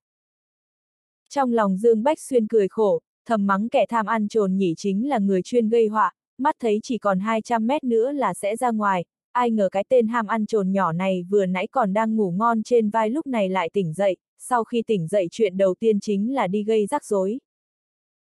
Nhưng đã đến nước này Dương Bách Xuyên cũng chỉ có thể ứng phó chuyện trước mắt, ngoài việc này thì trách con trồn cũng có được gì đây. Con trồn này nhanh như tia chớp, hơn nữa lại có bản năng thiên phú là tìm bảo vật, người thấy mùi hương mê người mà không vào tay nó thì nó sẽ không cam lòng. Trong lúc cười khổ, kiếm đầu long của Dương Bách Xuyên phát ra quang mang, một kiếm chém ra 900 đạo phong nhận kiếm khí. ầm ầm ầm, cành gai quất tới nổ tung thành từng khúc. Bộp bộp bộp. Lúc này thương vũ tình cũng ra tay, trước người nàng hiện lên một thanh phi tiên, trong nháy mắt cũng chém ra vô số kiếm, cành gai trên không trung nứt thành từng đoạn. Tổ sư thúc, không còn cách nào khác, chúng ta chỉ có thể quyết đoán xông lên thôi. Thương Vũ Tình nói với Dương Bách Xuyên. Được, chúng ta liên thủ tiến lên rồi xông ra ngoài. Dương Bách Xuyên gật đầu, lần nữa vung kiếm đổ long chém đứt cành gai. Tuy là dây leo gai ở đây rất nhiều nhưng cũng may là không phải loại quá cường đại, hai người vung vẩy kiếm khí vẫn có thể chặt đứt vô số cành cây. Nhưng dây leo gai thật sự quá nhiều, chém tới một hồi lâu mà hai người cũng chỉ đi về phía trước được hơn 10 thước. Với tốc độ này mà khoảng cách 200 thước, cho dù bọn họ muốn lao ra cũng phải mệt chết. Nhưng cũng không còn cách nào khác, chỉ có thể như thế. Vô số cành gai liên tục bị cắt chất thành đống như rơm dạ. Trong quá trình Dương Bách Xuyên và Thương Vũ Tình sắc bén chặt chém dây leo thì trồn nhỏ lại rời khỏi vai Dương Bách Xuyên lần nữa, giờ phút này Dương Bách Xuyên cũng không để ý đến nó, mặc kệ cho nó đi, dù gì hắn cũng biết nó còn giảo hoạt hơn cả hồ ly, nó dám rời khỏi bả vai của mình thì chứng tỏ nó chắc chắn không để bản thân bị thương. ầm ầm ầm, hắn và thương vũ tình ra sức chặt chém cành cây gai để liên tục tiến về phía trước, trong quá trình này, Dương Bách Xuyên phát hiện tu vi của thương vũ tình không hổ là phân thần cảnh hậu kỳ, chân khí vô cùng hùng hậu, không yếu hơn hắn bao nhiêu. Chỗ khác chính là thủ đoạn tấn công của thương vũ tình không nhiều như hắn nhưng nhìn uy lực kiếm kỹ của nàng lại không kém chút nào, hắn nhìn ra được nàng đang dùng kiếm pháp tinh thần.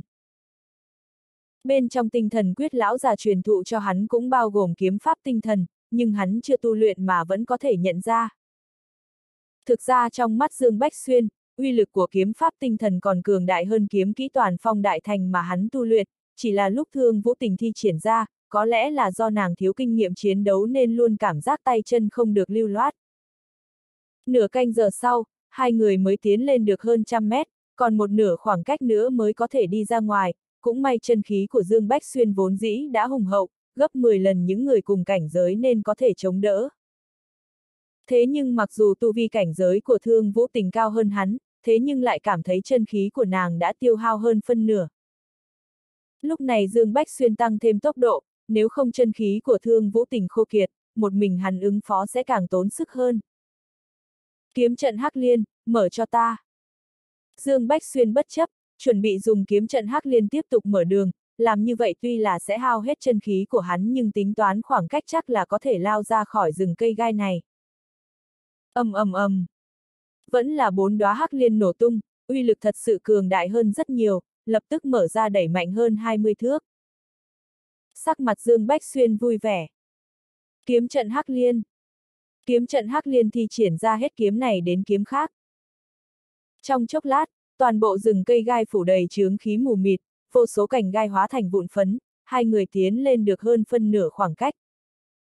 Sau khi thi triển kiếm quyết Hắc Liên ra lần nữa, thân thể Dương Bách Xuyên lảo đảo, cũng đã hao hết chân khí trong cơ thể và tiêu hao rất nhiều lực lượng thần hồn. ầm ầm ầm. Sau từng đợt nổ tung liên tục, trong lòng Dương Bách Xuyên trùng xuống, thế mà vẫn chưa thoát ra ngoài được, hình như còn khoảng 10 mét là có thể lao ra khỏi rừng cây gai rồi, thế nhưng chân khí trong cơ thể hắn đã không đủ chống đỡ một chiêu kiếm trận hắc liên nào nữa. Lúc này, Dương Bách Xuyên hối hận, lẽ ra hắn nên ở tinh thần môn tu luyện vài ngày, nghiên cứu một vài chiến kỹ thần thông thập nhị trí tôn do sư phụ Vân Thiên Tà để lại sợ rồi tu thành một nửa số chiêu thức cũng đủ để ứng phó với tình huống này rồi. Không ngờ là hắn sẽ bị một mảnh rừng cây gai giữ chân lại, hơn nữa còn giữ chân khiến hắn đến mức kiệt sức. Trong lòng hắn tự cười chế giễu bản thân, sau đó định liều mạng một lần nữa, cùng lắm thì tổn thương nguyên khí rồi từ từ bù lại là được. Nhưng đúng lúc này, bên tai vang lên giọng nói của thương vũ tình nói, tổ sư thúc, một bước cuối cùng cứ giao cho ta.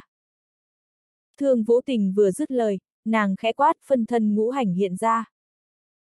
Vừa dứt câu, trên người thương vũ tình trong tầm mắt Dương Bách Xuyên bộc phát hào quang, ngay sau đó bên người nàng xuất hiện năm phân thân giống y như nàng. Phân thân ngũ hành. Trong nháy mắt, trong đầu Dương Bách Xuyên chỉ nghĩ đến phân thân ngũ hành của thương vũ tình. Cộng thêm một bản tôn, trong sân xuất hiện sáu thương vũ tình giống y như nhau. Kết trận. Trong đó có một thương vũ tình hô lên. Trong nháy mắt, sáu thương vũ tình hợp thành một trận pháp ngũ hành, mà thân thể bản tôn của nàng ở vị trí trung tâm, năm phân thân đứng thẳng xung quanh. Chỉ thấy thương vũ tình ném phi kiếm trong tay lên bầu trời, ngay sau đó, năm đại phân thân bắt đầu kết ấn, trong miệng nàng lẩm bẩm.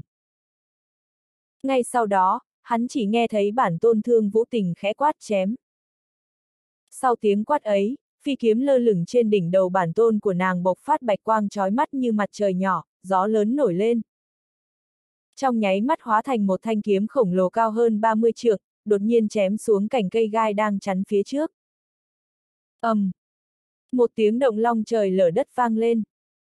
Trong tầm mắt Dương Bách Xuyên, cành cây gai dài hơn 10 mét đột nhiên hóa thành cho tàn dưới một kiếm này của Thương Vũ Tình. Một khoảng cách dài khoảng chừng trăm mét, chiều rộng chừng 30 mét, sâu khoảng 3 đến 5 mét xuất hiện. Khoảng cách này là do kiếm của Thương Vũ Tình chém ra. Tầm nhìn phía trước như mới được khai phá, không còn cành gai nào chắn đường nữa. Ngay sau đó, phi kiếm cực lớn của thương vũ tình lóe lên quang mang rồi lập tức thu nhỏ lại sau đó thoáng cái đã tiến vào thân thể nàng, năm phân thân cũng chợt hóa thành năm đạo lưu quang rồi tiến vào bản thể của nàng. Ngay lập tức, hai người sải bước lao ra khỏi khu vực rừng cây gai.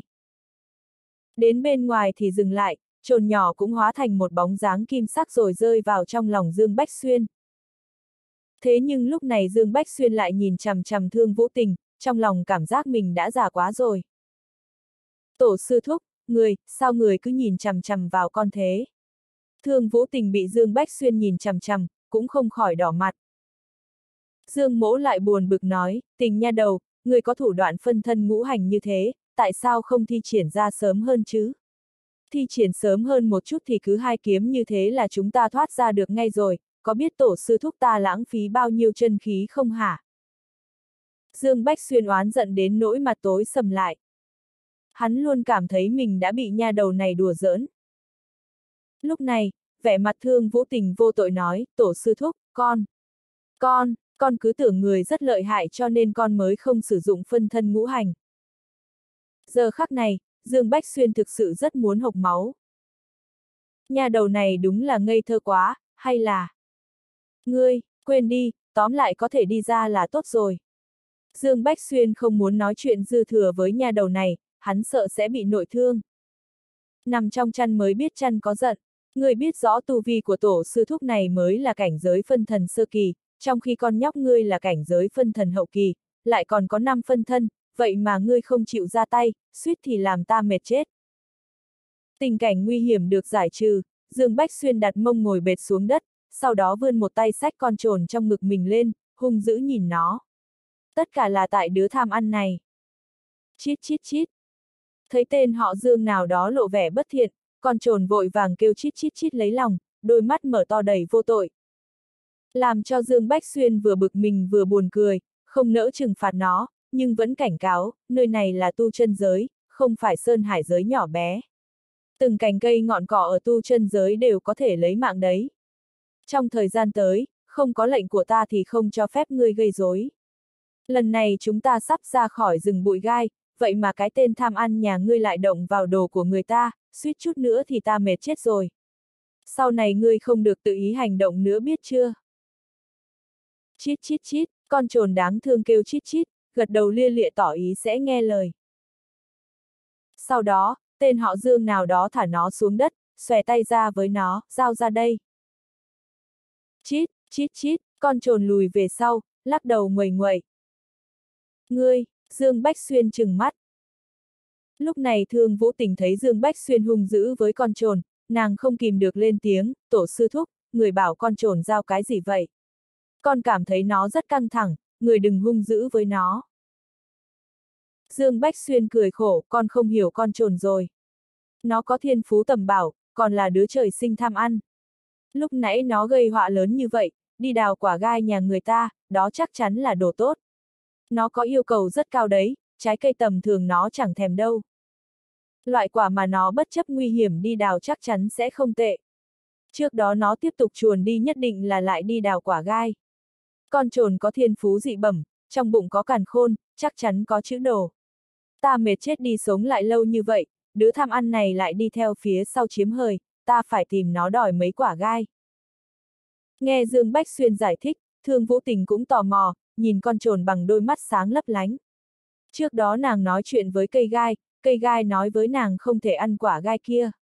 Nhưng Thương Vũ Tình chỉ biết tên, không biết quả gai có tác dụng gì. Theo lời Dương Bách Xuyên, loại trái cây được con trồn để mắt chắc chắn không tệ. Thương Vũ Tình không có lòng tham, chỉ tò mò về con trồn. Mặc dù nàng không biết gì về con trồn mà tổ sư thúc Dương Bách Xuyên mang đến, nhưng có thể cảm nhận được nó không tầm thường. So với con trồn, Thương Vũ Tình hiểu về tiểu phượng hoàng hơn, cả con khỉ lông vàng kia nữa, bọn họ đều là yêu tu rất mạnh. Ngược lại, nàng không hiểu nhiều về con trồn. Bởi vì từ khi nhìn thấy con trồn đến bây giờ, Thương Vũ Tình không cảm nhận được nó mạnh nhường nào, chỉ thấy nó bất phàm mà thôi. Lúc này nghe tổ sư thúc Dương Bách Xuyên nói vậy, nàng cũng tò mò nhìn con trồn. Thật ra ngay cả Dương Bách Xuyên cũng không biết hiện tại con trồn đã đến giai đoạn nào. Nó và tiểu phượng hoàng bị hóa thê lương chấn áp trong tế đàn bạch cốt hơn 100 năm, sau khi ra ngoài, Dương Bách Xuyên vẫn chưa tìm hiểu tình huống của con trồn. Nhưng nhìn tiểu Phượng Hoàng có thể thấy mặc dù bị chấn áp hơn 100 năm, nhưng nàng đã trưởng thành, lửa Phượng Hoàng thi triển lần trước rất mạnh. Chắc hẳn con trồn cũng có chút trưởng thành. Chấm chấm chấm. Chít chít. Con trồn bị Dương Bách Xuyên nhìn chòng chọc, giơ tay đòi đồ. Nó chớp mắt trông như trẻ con trực khóc, cực kỳ đáng thương. Nhưng tên họ Dương nào đó hiểu rõ con trồn, biết sở trường của nó là diễn kịch, giả bộ đáng thương. Trước đây mỗi lần gây họa nó đều dùng chiêu này để đối phó với Dương Bách Xuyên, lần nào cũng hữu dụng, thường thì Dương Bách Xuyên không trừng phạt nó. Nhưng lần này Dương Bách Xuyên không trừng phạt con trồn mà đòi quả gai, cho nên hắn phất lờ con trồn giả vờ đáng thương, trừng mắt nói, lấy ra, đừng để ta đích thân ra tay. Tên họ Dương nào đó trắng trợn đe dọa, con trồn biết không thể thoát được. Nó kêu chít chít há miệng ra, ánh sáng lóe lên, phun ra một quả gai màu trắng sữa vào lòng bàn tay của Dương Bách Xuyên. Trái cây màu trắng sữa thơm ngào ngạt khiến người ta không kìm được nuốt nước miếng. Bởi vì trước đó chiến đấu luôn căng thẳng thần kinh nên không cảm nhận được. Lúc này sau khi bình tĩnh lại, Dương Bách Xuyên nhìn quả gai mà không nhịn được nuốt nước miếng, há miệng cắn. Quả gai vừa vào miệng lập tức tan ra, hóa thành một dòng khí nóng truyền khắp người.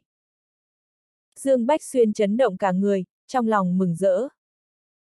Hắn phát hiện trong quả gai không có nhiều linh khí cho lắm, nhưng có tới 99% là sức mạnh thần hồn.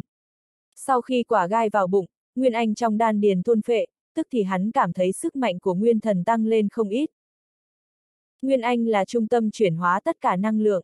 Khi Nguyên Thần vào Nguyên Anh, nếu linh khí bị Nguyên Anh luyện hóa thì sẽ chuyển thành chân khí. Nhưng lần này, sau khi năng lượng trong quả gai bị Nguyên Anh thôn phệ và luyện hóa lại làm cho sức mạnh của Nguyên Thần gia tăng một chút. Sức mạnh của Nguyên Thần là sức mạnh thần hồn, vô cùng nhạy cảm. Dương Bách Xuyên cảm nhận rõ Nguyên Thần mạnh thêm một phần. Phát hiện này khiến hắn mừng như điên.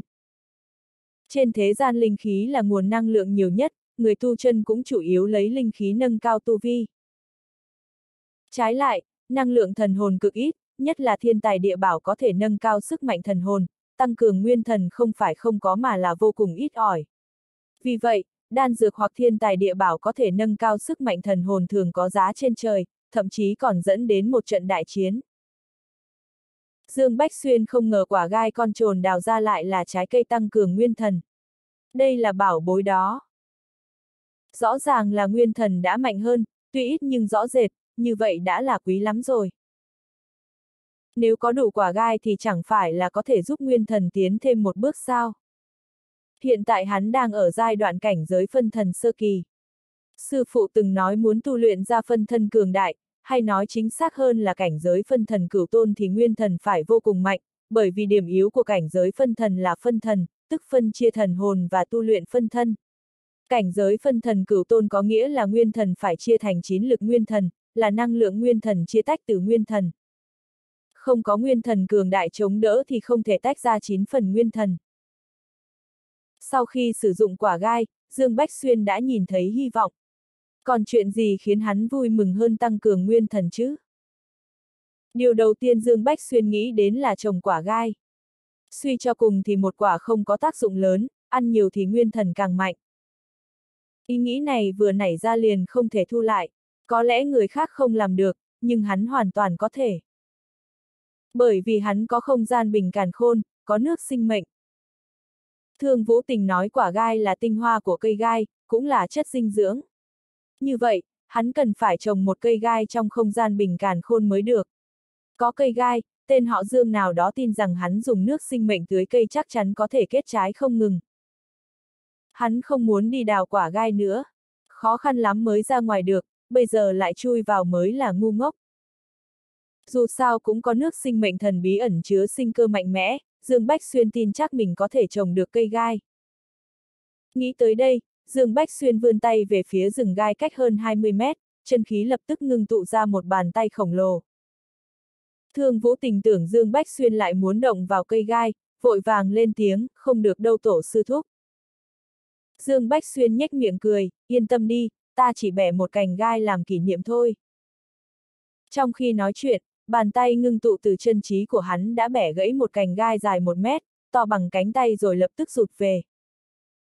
Cả rừng gai chỉ lay động một chút rồi lại khôi phục như thường. Tên họ Dương nào đó cười khà khà, nói với Thương Vũ Tình, tình nha đầu, người ở đây chờ ta, ta đi tiểu đã. Hích, Thương Vũ Tình kinh ngạc, dõi mắt nhìn theo tên họ Dương nào đó đi đến đằng sau một tảng đá cách đó không xa. Nàng thầm mắng trong lòng rồi quay sang trêu chọc con trồn. Hình thể của con trồn vẫn nhỏ như vậy, vẫn đáng yêu như thế, bất kỳ cô gái nào đều thích mê. Về phần tên họ Dương nào đó, hắn núp sau tảng đá to tất nhiên không phải đi tiểu, mà là mang cành gai vào không gian bình càn khôn. Hắn không muốn cho người khác biết bí mật của bình càn khôn, tất nhiên chủ yếu là sợ phiền phức. Nếu thương vũ tình biết thì hắn lại phải giải thích, dù sao hắn cũng không muốn tự dưng biến mất trong không khí. Từ sau cái lần không gian bình càn khôn hấp thụ mảnh vỡ thiên trảm, thăng cấp tiến hóa, Dương Bách Xuyên vẫn chưa vào xem bên trong có biến hóa gì hay không. Sau khi bản thể tiến vào không gian bình càn khôn, hắn phát hiện bên trong có biến hóa, còn là biến hóa làm cho hắn căng thẳng. Bởi vì hắn phát hiện nước sinh mệnh từ 9 giọt biến thành 3 giọt, điều này khiến hắn nhíu mày. Theo lý thì mỗi lần bình càn khôn thăng cấp, nước sinh mệnh sẽ nhiều lên. Nhưng bây giờ chẳng những nước sinh mệnh không tăng lên mà còn giảm từ 9 giọt còn 3 giọt. Tuy nhiên, khi Dương Bách Xuyên quan sát kỹ mới phát hiện nước sinh mệnh đã khác trước. Trước đây nước sinh mệnh màu xanh ngọc bích, nhưng bây giờ lại biến thành màu tím. Dương Bách Xuyên nghĩ nhất định là biến hóa sau khi bình càn khôn thăng cấp. Hắn cứ tưởng lần này trong bình càn khôn sẽ xuất hiện bảo vật nào đó tương tự như nước sinh mệnh và linh đào, không ngờ nước sinh mệnh lại là thứ đầu tiên xảy ra biến hóa. Hắn nhắm mắt cảm nhận không gian bình càn khôn, song không phát hiện thấy bảo vật có cùng đẳng cấp với linh đào và nước sinh mệnh, linh đào cũng không có gì thay đổi. Chỉ có nước sinh mệnh từ 9 giọt biến thành 3 giọt, chắc là sự thăng cấp của nước sinh mệnh. 9 là con số tối đa, sẽ không tăng thêm. Sau khi đạt tới 9 giọt nước sẽ biến thành 3 giọt, có lẽ là thăng cấp. Dương Bách Xuyên cẩn thận cảm nhận, quả nhiên phát hiện nước sinh mệnh tỏa ra sinh cơ càng thêm cường đại. Đồng thời, dường như trong nước sinh mệnh màu tím còn xuất hiện một luồng khí tức rất yêu dị, Dương Bách Xuyên cảm thấy khá giống khí tức của yêu thú. Hắn không hiểu chuyện này là thế nào, cũng không suy nghĩ về nó nữa. Đúng lúc hắn muốn trồng cây gai, có thể dùng nước sinh mệnh màu tím thử nghiệm hiệu quả. Dù sao cũng không phải chuyện xấu. Tóm lại là lần này bình càn khôn không có biến hóa lớn, khiến tên họ Dương nào đó có phần thất vọng. Hắn còn tưởng ít nhất không gian sẽ lớn hơn, kết quả là vẫn như cũ. Chỉ có nước sinh mệnh biến thành màu tím, giảm còn ba giọt. Hy vọng càng lớn, thất vọng càng nhiều. Tên họ Dương nào đó thở dài, lắc đầu đi tới không gian rộng mấy nghìn mét trong bình càn khôn tìm một mảnh đất trống ở rìa, vùi cành gai vào trong đất. Sau đó, hắn thầm niệm trong lòng, gọi một giọt nước sinh mệnh màu tím tới, chuẩn bị tưới cho cành gai. Vốn dĩ hắn định pha loãng nước sinh mệnh vào nước thường rồi mới tưới cho cành gai, nhưng lại nghĩ cành gai không có dễ, vẫn nên nhỏ trực tiếp một giọt nước sinh mệnh lên thì hơn. Khi Dương Bách Xuyên nhỏ nước sinh mệnh màu tím vào chỗ đất trồng cành gai, một quầng sáng tím mờ nhạt lóe lên rồi biến mất trong đất. Một giây sau, Dương Bách Xuyên biến sắc, cấp tốc lùi về sau không chút do dự. ầm, um. Trong tiếng ầm đinh tai nhức óc, sóng khí khổng lồ đột nhiên bùng nổ chỗ cành gai. Sau Dương Bách Xuyên cảm nhận được năng lượng khổng lồ, hắn lập tức lùi lại. Trong tầm mắt chỉ thấy cành gai bắt đầu sinh trưởng với tốc độ có thể nhìn thấy bằng mắt thường. Mặt đất nứt toác, Dương Bách Xuyên là chủ nhân của không gian bình càn khôn, mặc dù hắn không hiểu rõ toàn bộ bình càn khôn, thậm chí tới bây giờ hiểu biết của hắn về bình càn khôn chỉ là phần nổi của tảng băng trôi, nhưng hắn vẫn có thể nắm không gian ngàn mét trong bình càn khôn. Trong không gian xảy ra bất cứ chuyện gì, hắn đều cảm nhận được. Sau khi nước sinh mệnh màu tím nhỏ xuống cành gai, cành gai không chỉ mọc rễ trong đất mà còn mọc ra vô số gốc cây, gốc chủ vươn thẳng lên trời, từng cành cây nhanh chóng mọc ra. Nháy mắt đã biến thành một cây gai che trời. Dương Bách Xuyên lùi về sau hơn trăm mét mới dừng lại, bởi vì cây gai cũng mọc lan ra trăm mét. Vô số cành cây mọc ra, mỗi cành đều to bằng bắp đùi. Cây gai chiếm diện tích trăm mét, cao khoảng mấy chục trượng. Chỉ một giọt nước sinh mệnh màu tím đã có hiệu quả mạnh như vậy, làm cho nửa cành gai phát triển đến mức độ này. Thật đáng sợ, có thể nói là thần thoại. Chỉ một giọt nước sinh mệnh màu tím mà thôi, biến nửa cành gai thành đại thụ che trời. Lúc này Dương Bách Xuyên mới nhận ra sau khi nước sinh mệnh biến thành màu đỏ có tác dụng khủng khiếp cỡ nào. Nghĩ đến tác dụng khủng khiếp của nước sinh mệnh, Dương Bách Xuyên cực kỳ kích động. Hắn thầm niệm trong lòng, một giọt nước sinh mệnh xuất hiện, hắn dứt khoát nuốt vào bụng. Dương Bách Xuyên nghĩ nước sinh mệnh sau tiến hóa lợi hại như vậy, mình nuốt một giọt liệu có tăng cường nguyên thần lực hoặc là đột phá hay không? Dương Bách Xuyên nuốt một giọt nước sinh mệnh, nhưng... Hắn chờ hồi lâu vẫn không thấy có bất kỳ phản ứng gì. Không có sức mạnh nguyên thần mạnh mẽ hay nâng cao tu vi như trong tưởng tượng, ngay cả tăng cường cơ thể cũng không có. Thế này là... Không có bất kỳ hiệu quả gì. Dương Bách Xuyên không tin, cẩn thận cảm nhận. Mấy phút sau hắn thất vọng, rốt cuộc cũng chấp nhận hiện thực. Sau khi nước sinh mệnh tiến hóa biến thành màu tím, ngoại trừ sinh cơ cường đại gia, các phương diện khác chẳng có tác dụng gì với hắn. Nói cách khác, hiện tại nước sinh mệnh không còn tác dụng với nhân tộc. Từ kết quả thí nghiệm có thể thấy nó có hiệu quả nhất với thực vật. Không biết có tác dụng với yêu tộc hay không, phải thử mới biết. Một lúc sau, Dương Bách Xuyên cười khổ, không dối dám về tác dụng của nước sinh mệnh nữa. Nó có tác dụng lớn đối với cành gai như thế, Dương Bách Xuyên biết mình nên thỏa mãn, mình không thể chiếm hết chỗ tốt được. Trên đời này không có chuyện gì hoàn hảo, nếu hoàn hảo trái lại còn gây họa. Bởi vì vật cực tất phản, đạo lý này có thể áp dụng cho bất cứ chuyện gì. Ngẫm lại thì hắn có nước sinh mệnh lợi hại cỡ này, về sau trồng linh dược sẽ được thu hoạch nhanh hơn, như vậy đã nghịch thiên lắm rồi. Linh thức thoáng động, Dương Bách Xuyên nhìn đất chỗ cây gai, sau đó nở nụ cười. Hắn nhìn thấy gốc cây gai trong đất đã mọc ra quả gai. Có không ít, khoảng 9 quả. 9 quả không tính là ít, con trồn gây họa lớn như vậy mà cũng chỉ tìm được 3 quả trong rừng gai. Bây giờ hắn dùng nước sinh mệnh trồng được 9 quả, như vậy là nhiều rồi. Dương Bách Xuyên vươn tay về phía mặt đất, túm lấy hư không, một quả gai màu trắng sữa xuất hiện trong tay hắn. Quả gai to bằng củ khoai tây, phát ra dao động năng lượng thần hồn đặc biệt. Dương Bách Xuyên há miệng nuốt một quả. Mấy phút sau, trên mặt Dương Bách Xuyên xuất hiện nụ cười vui mừng. Hắn phát hiện trong quả gai mình dùng nước sinh mệnh trồng ra chứa nhiều năng lượng thần hồn hơn quả gai con trồn tìm được trong rừng gai, nguyên thần lại tăng thêm một ít. Trong đất còn 8 quả, Dương Bách Xuyên ăn hết luôn. Chỉ cần cây gai còn đó, quả vẫn mọc ra. Nhưng hắn không định ăn trực tiếp, bởi vì hắn biết ăn trực tiếp thì hơi lãng phí. Hắn định bụng dành thời gian luyện chế quả gai thành đan dược hệ thần hồn, dùng như vậy sẽ hiệu quả hơn. Và lại hắn đã ở không gian bình càn khôn một thời gian, phải ra ngoài thôi, nếu không thương vũ tình ở bên ngoài phát hiện mình biến mất sẽ sốt ruột. Trước mắt nhiệm vụ hàng đầu là đi đến đất ngũ hành tìm kiếm cỏ ngũ khí triều nguyên, sau đó luyện chế đan triều nguyên cho Lý Phượng Ngọc và chín cô gái. Nâng cao tu vi cho họ mới là chuyện quan trọng. Dương Bách Xuyên biết tin tức tinh thần môn tái xuất sẽ không giấu được lâu, kiểu gì cuối cùng các thế lực lớn ở gần dãy núi tinh thần cũng sẽ biết.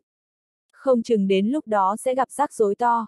Ngoài ra còn chuyện tranh đoạt quyền phát ngôn, kéo dài càng lâu thì vùng đất phía nam và phía bắc dãy núi tinh thần càng loạn. Dương Bách Xuyên thầm niệm trong đầu, ra khỏi không gian bình càn khôn. Hắn đi ra ngoài tảng đá to, quả nhiên trông thấy thương vũ tình đợi lâu đã mất kiên nhẫn. Tổ sư thúc, người, sao người đi lâu vậy? Khụ khụ, bụng yếu. Dương Bách Xuyên bịa chuyện. Lý do sứt sẹo này cũng chỉ lừa được cô gái ngây thơ như thương vũ tình.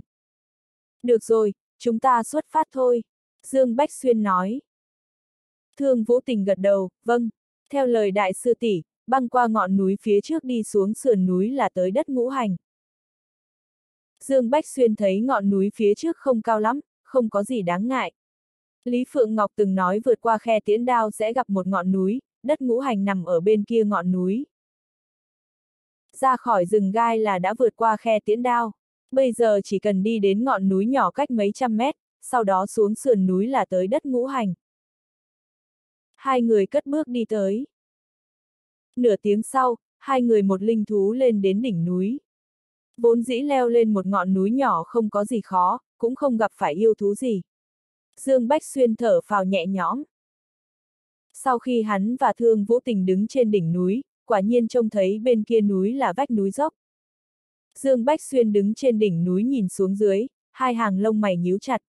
Ngọn núi dưới chân cùng lắm cũng chỉ cao năm sáu chục trượng, nhưng vách núi dốc không chỉ cao mấy chục trượng, hoàn toàn không nhìn thấy điểm cuối. Bên dưới phủ kín mây mù, không biết sâu bao nhiêu. Dương Bách Xuyên nghi ngờ đây là một hố sụt.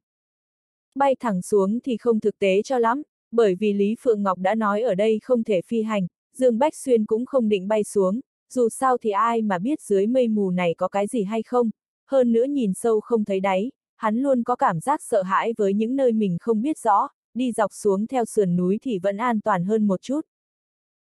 Ít nhất thì cũng ổn định hơn, dù sao thì hắn và Thương Vũ Tình đều là tu chân giả, không cần thiết phải dùng tới dây thừng, bám vào vách đá trên núi là có thể trực tiếp đi xuống. Cẩn thận chút, chúng ta xuống núi. Sau khi dặn dò Thương Vũ Tình một tiếng, Dương Bách Xuyên dẫn đầu leo xuống trước. Chấm chấm chấm. May mà không phải vách núi thẳng đứng, các lớp đá được sắp xếp theo trình tự, đủ để mượn lực. Sau nửa tiếng, hai người đã xuống được chừng 4-50 trượng, nhưng vẫn không thể nhìn thấy được bất kỳ tình huống gì ở phía dưới, xung quanh mây mù dày đặc, bọn họ chỉ đành tiếp đi xuống. Một, hai, ba canh giờ trôi qua vẫn không có gì thay đổi, có điều mây mù đã mỏng hơn nhiều. Leo chừng 6 canh giờ, Dương Bách Xuyên đoán hắn và Thương Vũ Tình đã leo được 7-800 trượng, lúc này nhìn xuống phía dưới đã không còn mây mù nữa, bọn họ có thể nhìn thấy ánh sáng lờ mờ, cũng không biết là thứ gì. Dù sao thì vẫn còn khoảng 200 trượng nữa. Nhưng đối với Dương Bách Xuyên và Thương Vũ Tình thì giống như nhìn thấy tia hy vọng, bởi vì bọn họ biết mình sắp xuống mặt đất rồi. Càng đi xuống, ánh sáng càng mờ, sau nửa canh giờ, cuối cùng hai người cũng tới gần mặt đất. Lúc này, Dương Bách Xuyên và Thương Vũ Tình đã thấy rõ toàn bộ khung cảnh dưới chân núi. Đây quả thật là ngũ hành chi địa. Hai người cũng nhìn thấy cảnh tượng vô cùng chấn động. Được xưng là ngũ hành chi địa bởi vì nơi đây có thể hộ tụ đủ 5 loại linh khí của đất trời. Năm loại linh khí này chính là kim, mộc, thủy, hỏa, thổ. Bất cứ tu chân giả nào đều hiểu rõ, ngũ hành khống chế lẫn nhau, chỉ cần thiếu đi một loại đều sẽ không ổn định. Khoảng cách chỉ còn hơn 10 trượng, Dương Bách Xuyên xem xét địa hình phía dưới, hắn cũng cảm nhận được sự cân bằng tuyệt vời của khí ngũ hành trong thiên địa, ngũ hành quả thật tương sinh tương khắc, không ngừng chuyển động hình thành một địa hình riêng biệt. Xuống phía dưới hơn 10 thước, nơi này giống như một chốn bồng lai tiên cảnh. Chính xác mà nói, đây chính là thế giới khổng lồ bên dưới thung lũng, nhìn qua bề mặt diện tích thì khó có thể nhìn thấy được cảnh vật xung quanh, nhưng nơi này không hề nhỏ, sương mù dày đặc bao phủ che đậy địa hình, không thể nhìn rõ rốt cuộc lớn như thế nào. Dương Bách Xuyên ước lượng diện tích mình có thể nhìn được, ít nhất cũng phải mấy dặm lý. Hoa cỏ cây cối cành lá xum xuê, nổi bật là những đại thụ che trời, có những gốc phải bảy tám người ôm không hết, ngay cả cỏ dại cũng cao tới mấy mét, nơi này giống như một thế giới có sức sống vô hạn. Ở giữa không trung, Dương Bách Xuyên nhìn thấy được, có núi đá, thảm thực vật, suối nước nóng với sương mù dày đặc, hồ nước màu xanh biếc. Quả đúng là hội tụ đủ năm linh khí của đất trời. Giật mình, Dương Bách Xuyên và Thương Vũ Tình nhanh chóng leo xuống. Nhìn qua thì thung lũng này giống như một hình tròn lớn có đủ năm loại linh khí, hoặc nói đúng hơn thì hoàn cảnh địa hình đặc thù ở nơi này đã sinh ra ngũ hành chi linh. Dương Bách Xuyên và Thương Vũ Tình tiếp đất trong một cánh rừng ở dưới thung lũng. Bọn họ có thể cảm nhận được linh khí ở nơi này vô cùng nồng đậm, nhiều hơn gấp mấy lần thế giới bên ngoài, nhưng năm loại linh khí đan xen với nhau, người bình thường sẽ không dám hấp thụ loại linh khí này, bởi vì giới hạn về thể chất và công pháp, chắc chắn sẽ xung đột với nhau. Dương Bách Xuyên là một ngoại lệ, càn khôn tạo hóa quyết giúp hắn có ưu thế tuyệt đối ở nơi này, cộng thêm cơ thể vốn là ngũ hành, hắn có thể hấp thụ bất cứ lực lượng nào. Dương Bách Xuyên vận công hấp thu thiên địa linh khí ở thung lũng như không biết chán, lỗ chân lông cũng giãn nở ra, hắn chưa bao giờ cảm thấy dễ chịu như lúc này. Đến nỗi thương vũ tình nhìn hắn giống như nhìn thấy quái vật, nàng không dám hấp thụ ngũ khí ở nơi này, bởi vì thể chất và công pháp của nàng bị giới hạn, một khi hấp thụ ngũ khí vào cơ thể không đúng cách thì sẽ trở thành tai họa. Thương Vũ Tình có chút hâm mộ vị tổ sư thúc này. Càng ngày nàng càng cảm thấy hắn giống như một tên quái vật, hơn nữa còn rất thần bí. Đi sau Dương Bách Xuyên cả đoạn đường, Thương Vũ Tình phát hiện nhiều thứ không thể tưởng tượng nổi, cảm giác rất mới mẻ. Kiếm kỹ còn mạnh hơn lần trước rất nhiều, ví dụ như linh sủng của hắn, hay là như lúc này, nàng phát hiện ra hắn có thể hấp thụ năm loại linh khí vào trong cơ thể mà không gặp bất kỳ trở ngại nào, không biết trên người hắn còn bao nhiêu bí mật. Dương Bách Xuyên có cảm giác, hắn vừa quay đầu đã thấy ánh mắt thương vũ tình đang nhìn mình. Ngươi nhìn ta làm gì? Đâu, đâu có ta cảm thấy tổ sư thúc người rất đặc biệt. Ha ha, có mắt nhìn đấy. Dương Bách Xuyên không hề khách khí bật chế độ khoe khoang. Đối mặt với nữ nhân ngây thơ như thương vũ tình, Dương Bách Xuyên chém gió vài câu đã có thể nhìn thấy được ánh mắt sùng bái của nàng, bấy nhiêu thôi cũng đủ thỏa mãn lòng hư vinh của hắn. Cảm giác ở cạnh thương vũ tình rất tốt. Sư tổ thúc, ta cảm thấy nơi này rất quỷ dị, người có phát hiện ra điều gì không? Thương vũ tình đột nhiên lên tiếng. Quỷ dị, quỷ dị cái gì, ta không thấy có gì lạ cả. Dương Bách Xuyên nói. Ta cũng không nói rõ được, nhưng luôn có cảm giác sợ hãi, giống như có gì đó đang nhìn chằm chằm vào chúng ta. Thương Vũ Tình suy tư nói. Lúc này, Dương Bách Xuyên mới nâng cao cảnh giác, hắn biết năng lực cảm nhận của Thương Vũ Tình không giống với những tu chân giả bình thường, nếu nàng đã nói như vậy thì tám chín phần là có thứ gì đó. Tốt nhất vẫn nên cẩn thận thì hơn. Chi Chi lúc này, trồn nhỏ cũng kêu lên. Trồn nhỏ, nơi này không giống bình thường, người tốt nhất nên an phận, đừng có chạy loạn. Dương Bách Xuyên hơi lo lắng cho trồn nhỏ, hắn dặn dò một tiếng. Chi chi, trồn nhỏ bị Dương Bách Xuyên cảnh cáo, trồn nhỏ kêu lên giống như đang nói, biết rồi, biết rồi. Sau khi nghe Thương Vũ Tình nhắc nhở, Dương Bách Xuyên quan sát xung quanh, bởi bởi vì hắn cũng phát hiện có gì đó không đúng.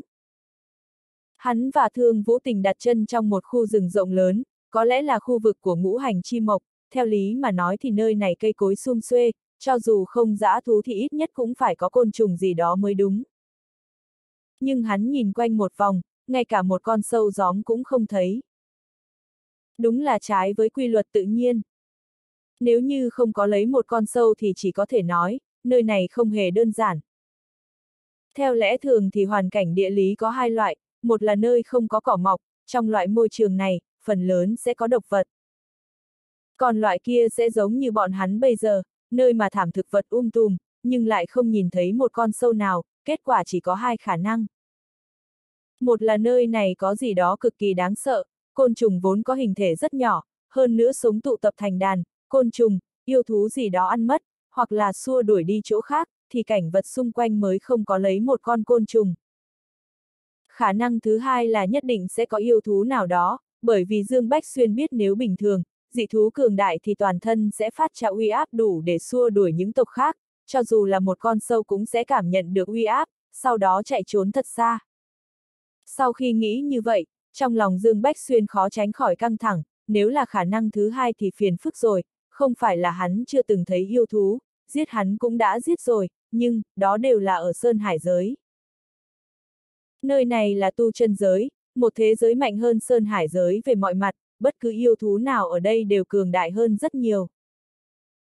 Huống chi còn ở ngũ hành chi địa, ai mà biết sẽ nuôi ra loại yêu thú gì. Thế nên hắn mới bảo thương vũ tình cảm nhận kỹ hơn tình huống xung quanh, hy vọng năng lực cảm nhận đặc biệt của nàng sẽ mang lại may mắn. Thương vũ tình cũng bị Dương Bách Xuyên làm cho căng thẳng, nàng vội vàng gật đầu tỏ ý đã biết. Hai người bước chậm về phía trước, tìm kiếm cỏ ngũ khí triều nguyên, cần phải đi qua trung tâm của ngũ hành chi địa, chuyện này Lý Phượng Ngọc đã dặn dò bọn họ. Mà nơi này mới chỉ là khu vực ngũ hành chi mộc. Hai người men theo khe hở trong rừng, dù sao nơi này cũng không có đường, chỉ có thể đi thẳng qua hướng này. Ngay lúc bọn họ mới đi được mấy chục mét, Thương Vũ Tình đột nhiên dừng bước nói, sư tổ thúc, ta ta cảm giác, phía sau luôn có thứ gì đó đang theo dõi chúng ta. Dứt lời, Thương Vũ Tình có chút sợ hãi. Chi chi chi. Lúc này, trồn nhỏ trên vai phát ra những tiếng kêu lớn, chi chi chi, gầm rú về phía sau lưng hắn. Xoạt. Sau lưng, bọn họ nhìn thấy cách đó mười mấy mét có một cây cỏ dại cao hơn người đang đung đưa, mặc dù không rung mạnh nhưng chắc chắn không phải do gió thổi, bởi vì nơi này căn bản không hề có gió. Ngọn cỏ lay động cách đó không xa, Dương Bách Xuyên và Thương Vũ Tình hơi căng thẳng, dù sao thì nơi này là ngũ hành chi địa, mọi thứ xung quanh đều rất quỷ dị. Hơn nữa, cả hai người bọn họ đều không cảm nhận được bất kỳ hơi thở nào. Cũng không biết phía sau cây cỏ kia là thứ gì. Yêu thú hay là cái khác. Càng không nắm rõ thì trong lòng càng căng thẳng, đây chính là bản tính trời sinh của nhân loại. Dương Bách Xuyên lập tức cầm kiếm đồ long trong tay, chuẩn bị phản kích bất cứ lúc nào. Ngay lúc này, cây cỏ dại động mạnh. Giống. Tiếng gầm rú như mãnh hổ, một con thú dữ cao lớn lao từ sau đám cỏ dại ra, đứng trước mặt Dương Bách Xuyên và Thương Vũ Tình. May mà nó không nhào tới luôn, hai bên vẫn duy trì khoảng cách mười mấy mét. Trong mắt của Dương Bách Xuyên, thứ này là một con quái vật. Bởi vì vẻ bề ngoài của nó rất hỗn độn, trên đầu thì mọc sừng như rồng, cái đầu lại giống sư tử, chán chữ vương giống hổ, bộ lông toàn thân màu vàng đất, nhưng lại mang cho người khác cảm giác như đang phát sáng, lông của nó rất dài, cỡ cũng phải nửa thước, trông rất mềm mại. Đan sen giữa bộ lông là những vằn có năm màu sắc, thoạt nhìn rất đẹp mắt. Bốn chân có hình dạng như sư tử, cái đuôi phía sau màu trắng như đuôi bò, chỉ có dưới đuôi là lông mọc dài, còn là màu đỏ sẫm, không khác gì ngọn lửa đang thiêu đốt. Cơ thể dài chừng 3 mét cao hơn 1 mét, nó đứng đối diện nhìn Dương Bách Xuyên và Thương Vũ Hoan. Đôi mắt to đen láy sáng ngời, từ ánh mắt của con quái vật này, Dương Bách Xuyên có thể nhìn thấy được sự khinh thường và chán ghét thù địch với hai người họ. Bị con quái vật này nhìn chằm chằm, trong lòng có chút sợ hãi. Dương Bách Xuyên không hề cảm nhận được yêu khí hay năng lượng dao động nào từ trên người con quái vật này, nó khiến hắn cảm thấy đây chỉ là một dã thú bình thường. Nhưng Dương Bách Xuyên biết, có thể nhìn theo dõi bọn họ mà thần không biết quỷ không hay, huống hồ đây còn là quái vật xuất hiện ở ngũ hành chi địa, chắc chắn không phải là loại thú thông thường, không cảm nhận được năng lượng dao động, một là yêu thú vô cùng cường đại, hai là yêu thú có khả năng đặc biệt, che giấu được khí tức trên cơ thể. Cho dù là loại nào thì hiện tại xem ra, tất cả đều không phải chuyện tốt. Thương Vũ Tình nhỏ giọng hỏi, sư tổ thúc, quái vật này có phải yêu thú không, nó là loại yêu thú nào vậy? Dương Bách Xuyên nói thầm, chắc chắn là yêu thú, nhưng là loại gì, có lẽ là loại không có đặc tính rõ ràng, hỗn tạp. Đương nhiên Dương Bách Xuyên cũng không biết con quái vật này. Hắn đã xem qua bí tịch mà lão đầu đưa cho, bên trong có ghi chép lại đặc thù của yêu thú, yêu tu. Nhưng hắn chưa từng nhìn thấy loại quái vật này, cái gì cũng giống nhưng lại không giống cái gì, yêu thú trong điển tịch đều có đặc điểm nhận dạng, hoặc là bất kỳ quái vật nào, kể cả thần thú, đều có huyết mạch truyền thừa, nhưng thứ đang đứng trước mặt Dương Bách Xuyên này rất hỗn tạp là tạp thú. Dương Bách Xuyên còn chưa nói xong, quái vật đối diện đã giống lên, giống như là đang tức giận. Ngay sau đó, Dương Bách Xuyên và Thương Vũ Tình nghe thấy quái vật tức giận phun ra tiếng người, nhân loại đáng chết, bổn vương là dị chủng thiên địa, dị thú tối cao vô thượng mà khí ngũ hành của đất trời dưỡng thành, không phải tạp thú, bổn vương là thú ngũ hành độc nhất thiên hạ, vua của vạn thú. Thú ngũ hành tự xưng là bổn vương giống như chịu phải sỉ nhục lớn, nó mở miệng giống lên về phía Dương Bách Xuyên và Thương Vũ Tình. Có điều, Dương Bách Xuyên lại thở phào một hơi, bởi vì đối phương có thể nói tiếng người, tất nhiên là yêu thú có trí khôn, sẽ giao tiếp được. Chỉ cần có thể nói chuyện là được rồi, hắn biết không phải bất cứ sinh linh nào trên thế gian này đều thù ghét nhân loại, không nhất định chạm mặt đều phải sống chết mới được. Khụ khụ, thú ngũ hành gì kia? Dương Bách Xuyên thử nói chuyện. Giống, gọi ta là ngũ hành vương, không được xem bổn vương là yêu thú thấp kém, bổn vương chính là thú ngũ hành vương độc nhất thiên hạ, cao quý gấp vạn thứ nhân loại hèn hạ các ngươi. Thú ngũ hành tức giận ngắt lời của Dương Bách Xuyên. Dương Bách Xuyên nghe vậy thì chỉ muốn cười, thứ ngu ngốc kia luôn mồm nói không được gọi nó là thú, nhưng tự bản thân lại xưng thú ngũ hành. Ngoài ra, hắn còn nghe nó mắng nhân loại đê tiện. Điều này khiến cho Dương Bách Xuyên rất ngạc nhiên, xem ra thú ngũ hành này đã từng bị con người lừa gạt. Nghĩ lại thì cũng đúng, nhân tộc chính là vạn linh chi chủ, trí khôn của yêu thú có cao tới đâu cũng không thể so với phức tạp của lòng người. Thú ngũ hành ngu ngốc kia bị con người lừa cũng rất bình thường. Nhưng ngược lại, nếu như con thú ngũ hành này thật sự bị người lừa gạt, vậy thì hắn cũng sẽ rất khó nói chuyện, bởi vì nó đã không còn tin tưởng con người nữa. Đây là một vấn đề nan giải, hắn và Thương Vũ Tình tới đây là để tìm cỏ ngũ khí triều nguyên, tốt nhất là không nên gây rắc rối. Hơn nữa, thú ngũ hành mang lại cho hắn cảm giác không hề đơn giản, vẫn nên thử nói chuyện với nó thì tốt hơn. Được được được, ngũ hành vương, ngũ hành vương, xem như ta sai, chúng ta vô tình xông vào lãnh địa của ngươi, xin ngũ hành vương thứ cho, chúng ta tới đây là để tìm một loại linh dược, tìm xong sẽ lập tức rời đi. Dương Bách Xuyên đi thẳng vào vấn đề. Nghe vậy, thú ngũ hành cười lạnh, tìm linh thảo, thứ người tìm không phải là cỏ ngũ hành triều nguyên đó chứ. Dương Bách Xuyên giật mình, không ngờ thú ngũ hành lại biết cỏ ngũ hành triều nguyên, hắn không nghĩ nhiều mà vui vẻ nói, đúng đúng đúng, chúng ta tới đây để tìm cỏ ngũ hành triều nguyên, người biết ở đâu có thì nói cho ta được không, ta dùng đưa linh thạch để đáp lễ. Ha ha ha. Lúc này, thú ngũ hành há cái miệng lớn cười như điên dại. Dương Bách Xuyên và Thương Vũ Tình không thể hiểu nổi, bọn họ không biết vì sao thú ngũ hành nghe thấy tên cỏ ngũ hành triều nguyên thì lại cười lên như vậy. Xem ra thứ khuyết não kia còn có bệnh, Dương Bách Xuyên nói thầm. Tiếng cười điên cuồng bỗng dừng lại, giọng nói trở nên lạnh lẽo, thứ nhân loại hèn hạ, người nghĩ ngũ hành triều nguyên là cỏ dại hay sao? Nói cho người biết cỏ ngũ hành triều nguyên chính là bảo bối của ngũ hành chi địa, dựa vào cái gì mà bổn vương phải nói cho người biết. Dứt lời, thú ngũ hành hừ một tiếng rồi nói tiếp, hàng nghìn năm trước cũng có nhân tộc tới ngũ hành chi địa, khi đó bổn vương không biết con người lại tâm địa gian trá như vậy, ti tiện không biết xấu hổ, đồ xảo trá. Vốn dĩ bổn vương đã giao hẹn xong với bọn họ, ta giúp họ lấy được cỏ ngũ hành triều nguyên, bọn họ giúp bổn vương diệt trừ kẻ địch, tất cả đều vui vẻ, kết quả là sau khi hắn ta lấy được cỏ ngũ hành triều nguyên thì lại kinh động tới kẻ địch của ta, hắn chạy mất còn bổn vương bị thương, ngươi nói xem nhân tộc có phải rất đê tiện hay không? Hả? Dứt lời, thú ngũ hành như muốn gào lên, Dương Bách Xuyên và Thương Vũ Tình cũng nghe ra, thú ngũ hành từng bị con người lừa gạt nên trong lòng sinh ra bóng ma tâm lý, chẳng trách vừa thấy bọn họ đã mắng chửi là nhân loại đê tiện, ánh mắt tràn ngập địch ý. Dương Bách Xuyên lại nghĩ, đừng nói là vị tiền bối nào của tinh thần môn đào cho thú ngũ hành cái hố đó chứ. Ngẫm lại, thật sự có khả năng, nơi này hẻo lánh như vậy, ở dưới vực sâu ngàn trượng, ít người, nếu như hắn và Thương Vũ Tình không có bản đồ mà Lý Phượng Ngọc đưa cho thì cũng chưa chắc có thể tìm được nơi này. Khó tránh khỏi là vị tiền bối nào đó của tinh thần môn gài bẫy thú ngũ hành. Nếu đúng như vậy thì Dương Bách Xuyên phải cẩn thận, nếu như để thú ngũ hành biết hắn và Thương Vũ Tình là người của tinh thần môn, không chừng thú ngũ hành sẽ xé xác bọn họ ra mất. Trong lòng thầm cười khổ, đúng là quả báo của quy luật tự nhiên. Cách đây rất lâu, lão tổ tinh môn đã lừa thú ngũ hành, lấy được ngũ khí triều nguyên, đổi lấy một khối tài sản khổng lồ. Không ngờ ngàn năm sau, hắn và thương vũ tình cũng vì tinh môn mà đến tìm ngũ khí triều nguyên thảo, hiện tại thú ngũ hành đang đợi bọn họ, thật sự là báo ứng. Mặc kệ thế nào, hắn nháy mắt ra hiệu với thương vũ tình, đánh chết cũng không nhận mình là người của tinh thần môn.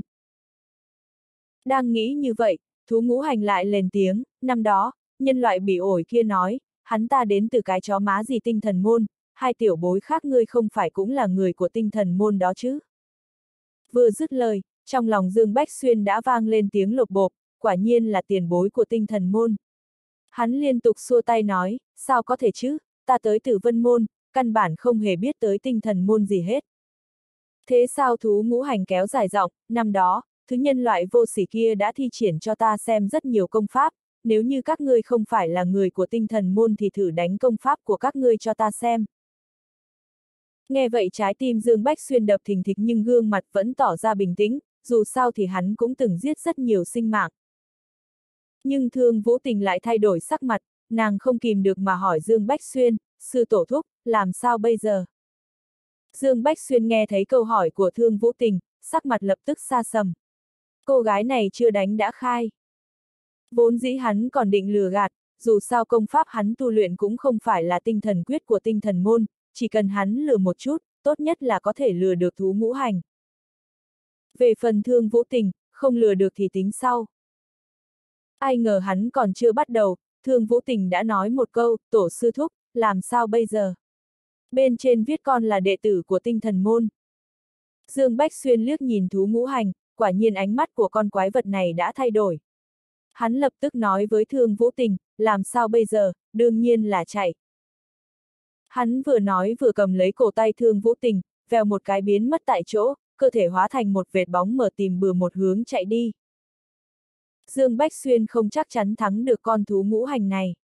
Nghe chừng nó là đại yêu đã tu luyện hơn mấy nghìn năm, do khí ngũ hành dựng dục sinh ra. Có trời mới biết nó có thủ đoạn gì, vì vậy chạy được thì chạy luôn. Gừ, thú ngũ hành gào giống, ở trước mặt bản vương mà muốn chạy à, đừng mơ. Nếu là đệ tử của tinh thần môn, bản vương sẽ không khách khí. Tốc độ của Dương Bách Xuyên rất nhanh, nhưng, tốc độ của thú ngũ hành còn nhanh hơn. Hắn ta cười gần, sau đó cơ thể mở đi, nháy mắt đã trở nên trong suốt rồi hoàn toàn biến mất. Chấm chấm chấm. Dương Bách Xuyên dắt tay thương vũ tình chạy một mạch hơn 10 dặm, xông thẳng ra ngoài cánh rừng, tới một núi đá không lớn không nhỏ. Ngọn núi này cao không quá trăm mét, hình dạng rất kỳ lạ, trông giống dòng dung nham tan chảy sau khi núi lửa phun trào. Không có gì ngoài đá nhọn, tất cả đều giống như đá bị lửa đốt. Nhưng điều kỳ lạ là ngọn núi này không hề đen chút nào, lại càng không nóng. Bề mặt tảng đá tỏa ra hơi lạnh, vì vậy đá khắp núi đều có màu trắng bạc. Khắp ngọn núi chẳng chịt khe nứt lớn nhỏ. Dương Bách Xuyên thầm nghĩ đây hẳn là khu vực ngũ hành chi kim. Nơi này là đất ngũ hành, không khó đoán ra khu vực. Cả ngọn núi không có lấy một ngọn cỏ, trông rất kỳ dị. Dương Bách Xuyên và Thương Vũ Tình dừng bước. Tổ sư thúc, con thú ngũ hành kia không đuổi kịp, chúng ta an toàn rồi nhỉ? Dương Bách Xuyên ngoảnh đầu nhìn, phía sau mấy trăm mét là một khu rừng rộng lớn, quả thật không thấy thú ngũ hành đuổi theo. Hắn thở phào nhẹ nhõm, chỉ mong là vậy. Ta cứ có cảm giác con thú ngũ hành kia không đơn giản. Hắn vừa dứt lời, một tiếng cười gần vang lên, nhân loại thấp kém tiếp tục chạy đi. Dương Bách Xuyên thoát tim, quay phát đầu lại, trong tay lóe lên ánh sáng bạc, một thanh kiếm chĩa ra đằng sau. ầm, um. Một nhát kiếm chém vào vị trí cách hắn và thương vũ tình 10 mét ở phía sau. Không khí dao động, thân hình của thú ngũ hành hiện ra, có vẻ nó không bị thương. Hừ, ngày hôm nay bản vương sẽ bắt các ngươi làm mồi nhử, hạ thuốc độc cả bên trong lẫn bên ngoài cơ thể các ngươi rồi dụ con dẹp kia ăn các ngươi. Đến lúc đó, bản vương có thể ra tay xé xác con dẹp kia, đồng thời báo mối thủ bị tên vô sỉ kia của tinh thần môn lừa dối. Nhãi danh, bản vương khuyên ngươi tốt nhất là ngoan ngoãn bó tay chịu trói để đỡ phải chịu đau đớn. Thú ngũ hành vừa nói vừa nhìn chòng chọc Dương Bách Xuyên và Thương Vũ Tình bằng ánh mắt âm hiểm. Dương Bách Xuyên nghe mà nổi da gà. Ý của con thú ngũ hành này là muốn hạ gục hắn và Dương Bách Xuyên, sau đó hạ độc rồi ném vào chỗ nào đó làm mồi nhử. Con dẹp mà nó nhắc tới là thứ gì? Rõ ràng trong những lời nói này đã tiết lộ một tin tức, đó là ở đất ngũ hành, con thú ngũ hành này có đối thủ, hơn nữa còn là đối thủ mạnh hơn nó, khiến nó phải e sợ đến độ muốn bắt hắn và thương vũ tình để hạ độc làm mồi nhử. Phải nói là thú ngũ hành làm vậy rất âm hiểm. Dương Bách Xuyên cảm thấy nặng nề. Bây giờ xem ra thú ngũ hành không phải hạng lương thiện, hắn đành phải liều thôi. Hắn không tin hắn và thương vũ tình có hai người lại không đánh nổi thú ngũ hành. Đương nhiên trong lòng dự định như vậy, song hắn không nắm chắc chút nào. Bởi vì từ một nhát kiếm vừa rồi có thể thấy con thú ngũ hành không phải dạng vừa. Mặc dù hắn tiện tay vung kiếm, nhưng ngay cả tu sĩ cảnh giới phân thần hậu kỳ cũng chưa chắc đỡ được một kiếm tiện tay của hắn một cách dễ dàng. Thế nhưng thú ngũ hành đỡ được mà không hề bị thương. Điều quan trọng nhất là Dương Bách Xuyên phát hiện thú ngũ hành có thể ẩn thân, cộng thêm tốc độ rất nhanh, thậm chí tốc độ không yếu hơn hắn. Hắn và Dương Bách Xuyên vừa mới dừng lại thì thú ngũ hành đã xuất hiện, chứng tỏ tốc độ của nó nhanh hơn tưởng tượng. Hơn nữa, không có sóng linh khí nổi lên. Có thể ẩn thân, tốc độ nhanh, toàn thân không có sóng linh khí, còn có thể dễ dàng hóa giải một nhát kiếm của hắn. Những điều này đều cho thấy con thú ngũ hành này không đơn giản. Dương Bách Xuyên biết nếu vừa rồi thú ngũ hành không chủ động lên tiếng, thì hắn hoàn toàn không phát hiện ra. Lần này dây thần kinh của Dương Bách Xuyên căng như dây đàn, hắn nói với Thương Vũ Tình, Tình Nhi, đối đầu với kẻ địch mạnh đừng nương tay. Dương Bách Xuyên sợ cô nàng này không dốc toàn lực đánh kẻ địch, vì vậy nhắc nhở một câu. Tổ sư thúc, con biết rồi. Thương Vũ Tình gật đầu. Hai người đối đầu với thú ngũ hành, vô cùng nghiêm túc. Thú ngũ hành ngẩng cao đầu đầy kiêu ngạo, trong mắt tràn đầy khinh thường, hai nhân loại thấp kém còn muốn chống cự à. Được thôi, bản vương cho phép các ngươi đồng thời ra tay. Xông lên đi, để bản vương xem bản lĩnh của các ngươi, ha ha ha. Trong tiếng cười ha hả, thú ngũ hành hoàn toàn không coi Dương Bách Xuyên và Thương Vũ Tình ra gì. Điều này khiến tên họ Dương nào đó giận dữ. Từ khi Dương Bách Xuyên hắn xuất đạo đến nay đã bao giờ bị một con súc vật coi thường như vậy đâu. Có thể nhẫn nhịn nhưng không thể nhẫn nhục. Giết! Dương Bách Xuyên nổi giận hét lên một tiếng. Hắn vung kiếm, khí thức toàn thân bùng nổ. Trong đầu nhớ tới khí thế chi tâm mà sư phụ truyền dạy cho, tưởng tượng mình là một chiến thần đầu đội trời chân đạp đất. Kiếm trận Hắc Liên Một kiếm hừng hực khí thế chém tới thú ngũ hành, từng bông Hắc Liên lập tức xuất hiện, bay về phía thú ngũ hành. Thương Vũ Tình cũng không nhàn rỗi, lập tức biến ra năm phân thân, cùng với bản thể đứng thành trận. Nàng chém một kiếm về phái thú ngũ hành, vẫn là chiêu kiếm giống ở trong rừng kinh cức, kiếm khí mấy chục trượng chém xuống. Ban đầu thú ngũ hành vô cùng coi thường Dương Bách Xuyên.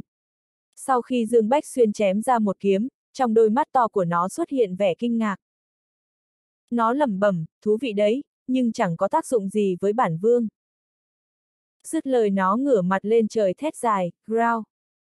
Ngay sau đó, Dương Bách Xuyên trông thấy bộ lông ngũ sắc của thú ngũ hành phát ra ánh sáng chói mắt, chữ vương oang trên trán tựa như phủ văn phát sáng. Tức thì Dương Bách Xuyên cảm nhận được khí ngũ hành trong không khí đều hội tụ trên người thú ngũ hành. Sau đó, trên người thú ngũ hành tỏa ra khí tức vô cùng cường đại. Đó là khí tức của năng lượng ngũ hành trong trời đất, vô cùng tinh khiết, còn mạnh hơn khí tức của sức mạnh hồng hoang trong thủ cốt của hắn. Dương Bách Xuyên biết đây là năng lượng ngũ hành gần với bản nguyên nhất, mạnh hơn chân khí nhiều. Chỉ thấy toàn thân thú ngũ hành phát ra năng lượng năm màu, từng luồng năng lượng biến thành thú ngũ hành phiên bản mini. Grau grau grau. Vô số thú ngũ hành phiên bản mini gào giống rung trời. Đây là thần thông thiên phú. Trong nháy mắt, tất cả thú ngũ hành phiên bản mini đều xông về phía hắc liên của Dương Bách Xuyên và kiếm khí của Thương Vũ Tình. Bùm bùm bùm bùm. Tiếng nổ liên tiếp vang lên. Từng đợt sóng năng lượng lan ra. Một giây sau, mặt Dương Bách Xuyên biến sắc. Hắn nhìn thấy tất cả đòn tấn công của mình và thương vũ tình đều bị thú ngũ hành phiên bản mini cắn nuốt, sau đó một đám thú ngũ hành sáng lấp lánh lao về phía hai người. ầm ầm, Dương Bách Xuyên và Thương Vũ Tình bắn ngược ra ngoài. Hai người bị đánh bay hơn 10 thước. Cổ họng mặn chát, Dương Bách Xuyên cố nén không phụt máu. Hắn liếc sang bên cạnh thấy khóe miệng của Thương Vũ Tình có vết máu, sắc mặt trắng bệch như giấy. Nàng đã bị thương nặng, thu lại năm phân thân. Hai người liên thủ cũng không đỡ được một kích của thú ngũ hành. Lúc này, thú ngũ hành ở đằng xa lộ ánh mắt khinh thường, chậm rãi đi tới. Dương Bách Xuyên dứt khoát cầm tay thú ngũ hành bỏ chạy. Hắn biết hai người họ không thể rơi vào tay thú ngũ hành, bị hạ độc làm mồi nhử. Sau mấy bận nhảy lên nhảy xuống, Dương Bách Xuyên đã xông tới ní đá chẳng chịt khe nứt. Gừ, tên khốn sắp chết đến nơi rồi mà còn muốn dẫy ruộng, bản vương tiễn ngươi lên đường. Thấy Dương Bách Xuyên dắt theo thương vũ tình chạy trốn, thú ngũ hành lập tức nổi giận, nhảy bật lên nhào tới chỗ Dương Bách Xuyên và thương vũ tình. Dương Bách Xuyên liếc thấy thú ngũ hành bay tới, trong làng tràn đầy tuyệt vọng. Lúc này, phía trước xuất hiện một khe nứt đen ngòm, đường kính gần nửa mét. Hắn hạ quyết tâm túm lấy thương vũ tình, ném nàng vào trong, sau đó bản thân cũng nhảy vào khe nứt nghiêng 30 độ, lập tức trượt xuống dưới. Trong lúc tình thế nguy cấp, Dương Bách Xuyên hoàn toàn không quan tâm khe đá này có nguy hiểm hay không. Hắn đẩy thương vũ tình rồi cũng nhảy vào, con trồn bám chặt trên bả vai. Lần này con trồn rất ngoan, không gây rắc rối. Á! Dù sao thương vũ tình cũng là nữ giới, khi bị Dương Bách Xuyên đẩy xuống, nàng hét chói tai. Dương Bách Xuyên mặc kệ, hiện tại thú ngũ hành đang đuổi sát, bọn họ không phải đối thủ của con nghiệt xúc này, tất nhiên phải thoát được nguy hiểm trước mắt rồi tính tiếp, còn tốt hơn là bị thú ngũ hành nuốt chừng. Âm. Um. Khoảnh khắc Dương Bách Xuyên nhảy vào khe nứt, phía sau vang lên một tiếng nặng nề, cả ngọn núi cũng rung chuyển. Hắn không cần quay đầu nhìn cũng biết nhất định là thú ngũ hành đuổi theo. Lúc này Dương Bách Xuyên không quan tâm gì nữa. Sau khi nhảy xuống khe nứt, hắn và Thương Vũ Tình trượt thẳng xuống dưới. Khe nứt rất hẹp, vừa đủ chứa một người. Thông đạo hình trụ giống như ống nước to, nghiêng 30 độ. Dương Bách Xuyên và Thương Vũ Tình rơi thẳng xuống. Grau grau. Thú ngũ hành phía sau giận dữ gào lên, khiến Dương Bách Xuyên cảm thấy hơi kỳ lạ. Lúc này hắn chỉ có thể cố gắng tăng tốc, kéo dài khoảng cách với thú ngũ hành. Khoảng 10 phút sau, hai tiếng bịch bịch vang lên, Dương Bách Xuyên và Thương Vũ Tình lần lượt rơi xuống đất, xuất hiện ở một nơi bằng phẳng. Nháy mắt Dương Bách Xuyên cảm thấy lòng bàn tay mềm mềm, mùi hương cơ thể đặc trưng của nữ giới phả vào mũi. Tổ sư thúc, người đè vào con rồi. Giọng nói của Thương Vũ Tình vang lên bên tai. Lần này tên họ Dương nào đó phát hiện đúng là mình đã đè lên người Thương Vũ Tình. Nhưng không thể trách hắn được, thông đạo quá hẹp lại còn dốc, rơi từ bên trên xuống đất bằng thì ai mà hãm lại được.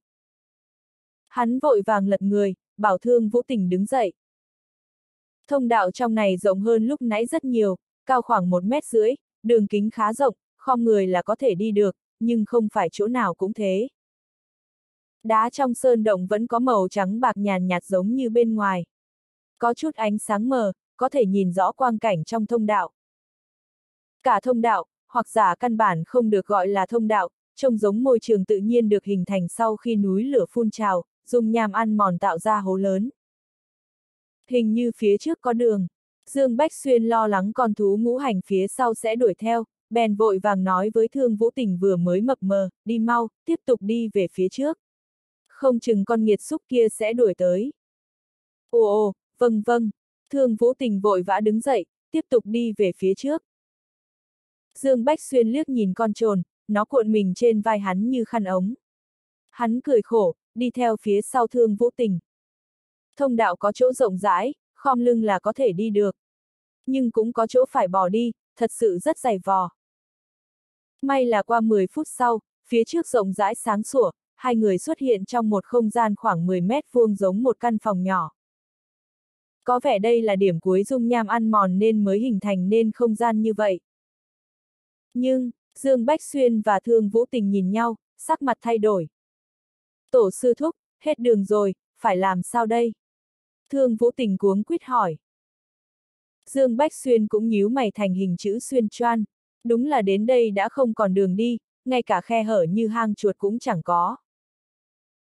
Đến đường cùng rồi. Hiện tại điều Dương Bách Xuyên lo lắng là liệu con thú ngũ hành đằng sau có đuổi theo vào đây hay không. Tuy thông đạo hẹp, nhưng thú ngũ hành không phải yêu thú bình thường. Hầu hết dị thú có thiên phú dị bẩm bậc này đều có thần thông, ngay cả hang chuột cũng vào được chứ đừng nói chi đến thông đạo nhỏ hẹp này. Đương nhiên cũng có ngoại lệ, một vài yêu thú trời sinh cường đại, có thần thông thiên phú nhưng không có pháp thuật biến hóa, chưa chắc có thể đi vào thông đạo nhỏ hẹp thế này. Đừng lo lắng, đến đâu hay đến đó, thú ngũ hành chưa chắc vào được. Dương Bách Xuyên an ủi thương vũ tình, cũng tự cổ vũ cho mình. Nói thì nói vậy, song Dương Bách Xuyên biết cho dù thú ngũ hành không vào được, nhưng nó chặn bên ngoài thì hai người cũng không ra ngoài được, bị nhốt trong này lại càng không ổn. Bởi vì hắn phát hiện nơi này không có linh khí trời đất. Do đó, vẫn phải nghĩ cách mới được. À đúng rồi tổ sư thúc, chúng ta thử đào một đường hầm thông ra ngoài rồi rời đi từ bên kia núi không phải là được rồi sao? Thương Vũ Tình lên tiếng. Hai mắt Dương Bách Xuyên sáng lên, có thể thử xem sao. Chúng ta không thể bị nhốt ở đây. Khi hắn nói chuyện, trong tay lóe lên tia sáng sắc bén, kiếm đồ long xuất hiện chém vào sườn núi. Hắn cảm thấy có thể thử cách này của thương vũ tình. Dù sao bọn họ cũng là người tu chân, dùng sức lực cường đại đào một đường hầm trong lòng núi thông ra ngoài không phải chuyện gì khó. ầm, um, kiếm đồ long chém vào đá. Dương Bách Xuyên cứ tưởng vách đá trong núi rất cứng, không ngờ kiếm đồ long lại dễ dàng chém vào sâu hơn phân nửa. Điều này khiến Dương Bách Xuyên mừng thầm. Nhưng ngay sau đó, hắn trở nên cay đắng. Bởi vì hắn cảm thấy kiếm đồ long như chém vào chất dính vạn năm, không rút ra được. Vết nứt chém ra trên sườn núi bốc hơi nóng, nhưng bên ngoài lại lạnh lẽo. Dương Bách Xuyên vội vàng rút kiếm đổ long ra. Lúc này nhìn lại mới thấy vách đá bị hắn chém đang từ từ khép lại. Cảnh tượng này khiến Dương Bách Xuyên và Thương Vũ Tình đều cảm thấy kinh ngạc, không ngờ lại có loại đá ngoài lạnh trong nóng như vậy. Thảo nào vết nước chém ra lại khép lại, thật ra là nguyên lý nóng nở lạnh co. Hai người đều chán nản, lòng núi thế này thì không đào nổi, bởi vì sau khi bọn họ đào nó sẽ thu nhỏ lại do nóng nở lạnh co. Hơn nữa, chất liệu này mềm dẻo chứ không cứng, kiếm đồ long không phá hủy được.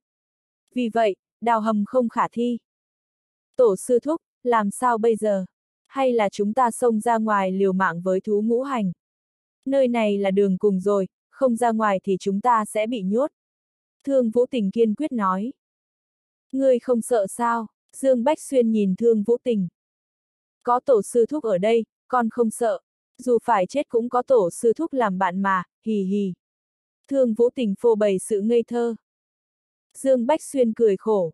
Nàng nói như vậy, tâm trạng hắn cũng thả lỏng hơn nhiều. Hắn nhếch miệng cười, đúng vậy, có ta ở đây thì chúng ta không chết được. Bây giờ xem ra chúng ta chỉ có duy nhất một con đường là ra ngoài liều mạng. Nhưng con thú ngũ hành kia không dễ đối phó, ta đoán thực lực của nó là cảnh giới hợp thể hậu kỳ, thậm chí là đại viên mãn cũng không chừng. Với thực lực hiện tại của chúng ta, ra ngoài liều mạng với con nghiệt xúc kia cũng chỉ là tự tìm đường chết. Vì vậy chúng ta phải nghĩ cách, cho dù liều mạng cũng phải nắm chút phần thắng. Vậy tổ sư thúc có cách gì không? Thương Vũ Tình hỏi. Dương Bách Xuyên nhìn nàng có. Cách gì vậy? Kích hoạt huyết mạch tiên thiên trong cơ thể ngươi thì chúng ta có khả năng liều mạng. Nhưng, phải kích hoạt thế nào? Con không biết. Ta có cách, ngươi canh giữ ngoài cửa động hộ pháp cho ta, ta tra cứu tư liệu có lẽ sẽ tìm ra cách thức tỉnh huyết mạch cho ngươi. Dương Bách Xuyên trả lời. Cách của hắn là tra cứu lượng lớn bí điển truyền thừa mà sư phụ để lại trong đầu mình, mong rằng có thể tìm được biện pháp thức tỉnh huyết mạch tiên thiên. Thương Vũ Tình gật đầu, được, con canh cửa động, nếu thú ngũ hành xông tới thì con sẽ cố gắng giữ chân nó. Dương Bách Xuyên gật đầu, trầm tư nhìn Thương Vũ Tình một hồi rồi dứt khoát nói thôi, thú ngũ hành kỳ lạ, chúng ta vẫn nên chuyển đến một chỗ khác an toàn hơn. Người đến đây, thả lỏng tâm thần đừng kháng cự, ta dẫn ngươi vào không gian động tiên của ta.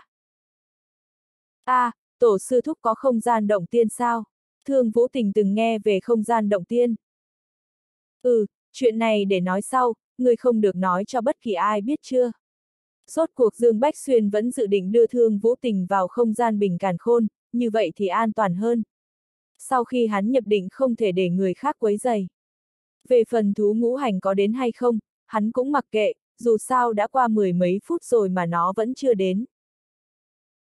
Dương Bách Xuyên đoán khả năng cao là thú ngũ hành không có pháp thuật biến hình, cơ thể to lớn của nó không thể chui vào thông đạo nhỏ hẹp, có lẽ nó chỉ có thể chặn ở ngoài cửa động. Mà trong này không có linh khí trời đất, cho dù tu luyện cũng không được. Vì vậy hắn nghĩ tới nghĩ lui, thấy tiến vào không gian bình càn khôn thì tốt hơn.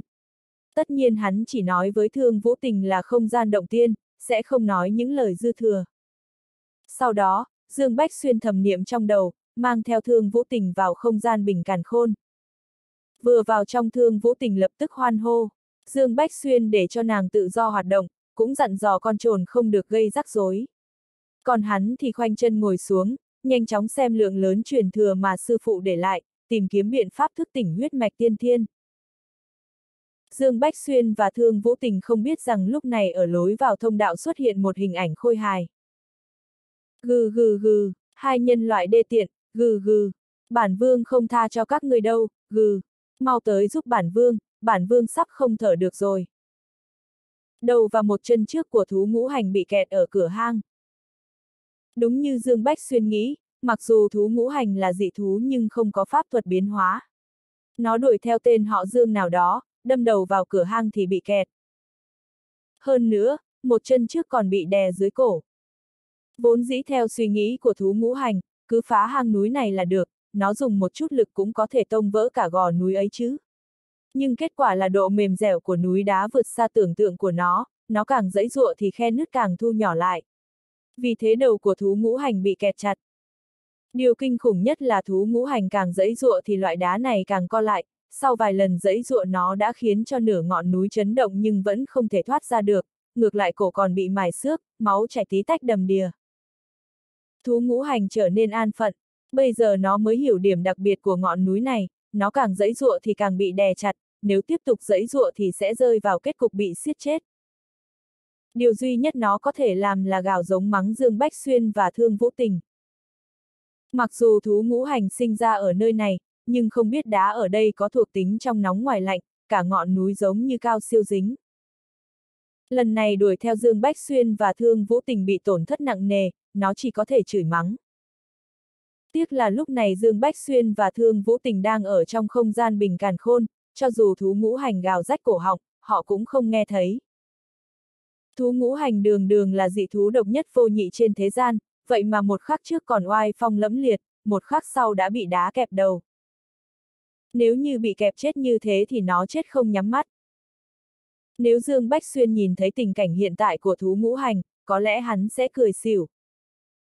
Sau khi thú ngũ hành gầm gào dẫy ruộ trong vô vọng, nó lấy lại bình tĩnh, đột nhiên nghĩ đến một vấn đề. Lúc này nó bị kẹt ở cửa hang, không thể động đậy.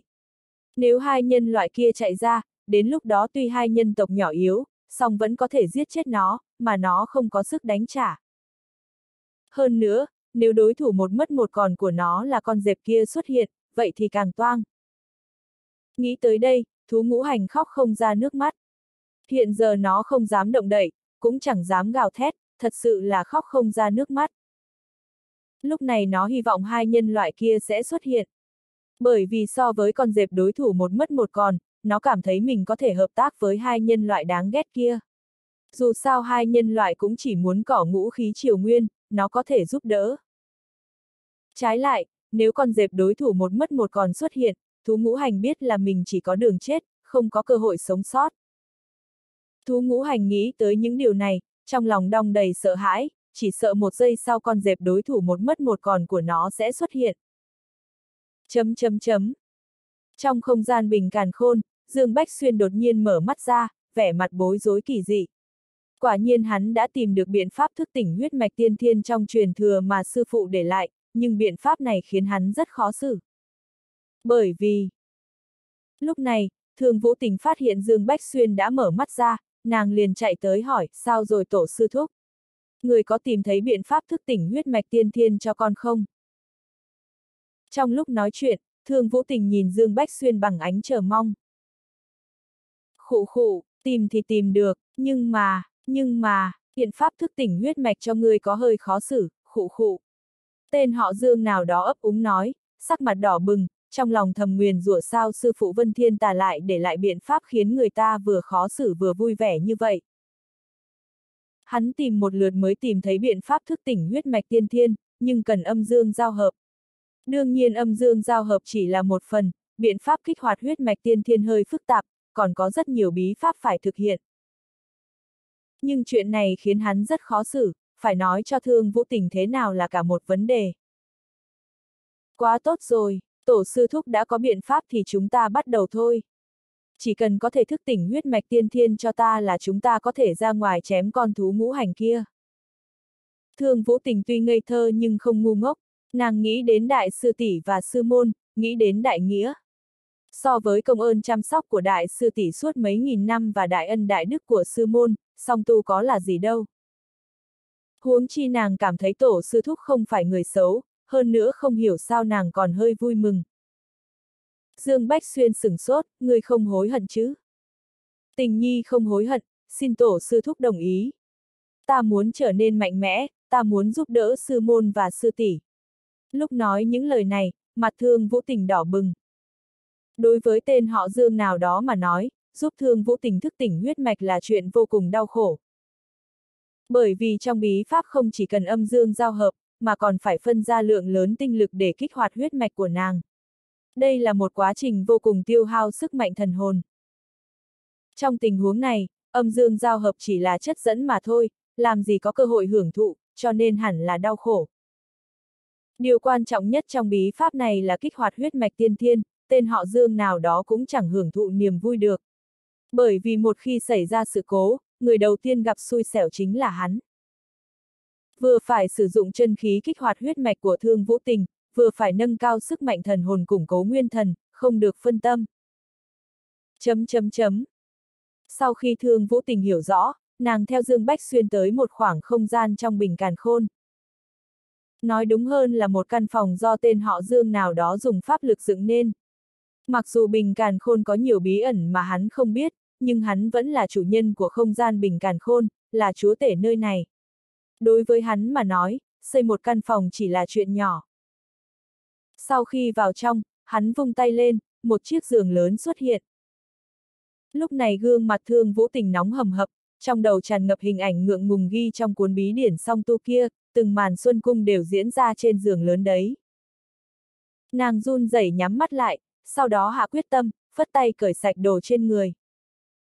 Một khi đã lựa chọn, nàng sẽ không hối hận. Tên họ Dương nào đó vừa quay đầu thì nhìn thấy thương vũ tình trần chuồng đứng phía sau. Nhìn thân hình bốc lửa của nàng, suýt chút nữa thì hắn không nhịn được chảy máu mũi. Nếu không phải hoa văn trên mặt thương vũ tình khiến nàng trông có phần yêu dị, thì tên họ Dương nào đó đoán chừng lúc này hắn đã mất khống chế trước mặt nàng rồi. Hoa văn yêu dị khiến người ta sợ hãi trên gương mặt nàng giúp hắn giữ được tỉnh táo. Dương Bách Xuyên hít sâu một hơi, dồn sự chú ý lên hoa văn trên người thương vũ tình, bởi vì tiếp theo đây mới là chuyện quan trọng. Hoa văn trên người thương vũ tình là yếu tố mấu chốt để thức tỉnh huyết mạch tiên thiên. Theo bí pháp mà sư phụ để lại, trước tiên hắn phải ra tay từ hoa văn huyết mạch trên người thương vũ tình, tìm ra cốt lõi của hoa văn, sau đó dùng thần hồn cường đại củng cố căn cơ cốt lõi của hoa văn huyết mạch rồi mới xong tu, từ từ kích hoạt thức tỉnh huyết mạch của nàng. Khi ánh mắt nóng bỏng của Dương Bách Xuyên nhìn vào thương vũ tình, tim nàng càng đập nhanh hơn, nàng bất giác cúi đầu. Lúc này tên họ Dương nào đó biết là đã đến lúc mình chủ động ra tay. Hắn bước tới ôm lấy thương vũ tình, nhẹ nhàng đặt nàng lên giường lớn, dặn dò nàng khoanh chân ngồi vững, bảo vệ tâm thần. Tiếp đó, hắn ngồi sau lưng nàng. Đúng như thương vũ tình nói, hoa văn trên mặt nàng đã lan khắp lưng, kéo dài từ má trái xuống cổ lại tới lưng. Những hoa văn này tạo thành một vòng tròn trên làn da trắng nõn của thương vũ tình, càng giống một trận pháp hoa văn phức tạp hơn. Việc Dương Bách Xuyên phải làm là tìm ra điểm căn nguyên của hoa văn rồi dùng thần hồn cố định. Hoa văn sau lưng thương vũ tình có màu sắc phức tạp và huyền ảo vô cùng. Nhưng đối với Dương Bách Xuyên mà nói, tìm ra căn nguyên cốt lõi không khó, bởi vì vị trí trung tâm chính là cốt lõi của một đồ họa hình tròn. Hắn giơ tay chỉ vào một điểm ở trung tâm đồ họa hoa văn, đồng thời sử dụng sức mạnh thần hồn cường đại. Hự! Thương vũ tình phát ra tiếng cắn răng nặng nề. Nhưng âm thanh mềm mại này lọt vào tai Dương Bách Xuyên lại khiến hắn suýt tán công. Hắn cuống quyết cắn đầu lưỡi, đầu lưỡi lập tức tê dần, xong cuối cùng thì hắn cũng tỉnh táo trở lại, thầm mắng tiểu yêu tinh. Hắn dựa theo bí pháp mà sư phụ để lại, hai tay đánh ra 36 pháp quyết liên tiếp, cuối cùng khàn giọng hô một chữ định. Nháy mắt hoa văn đỏ thấm trên lưng thương vũ tình như sống lại, tỏa ra ánh sáng mờ, làm cho hoa văn vốn màu đỏ thấm càng trở nên yêu dị hơn. Audio điện tử võ tấn bền. Hết tập 86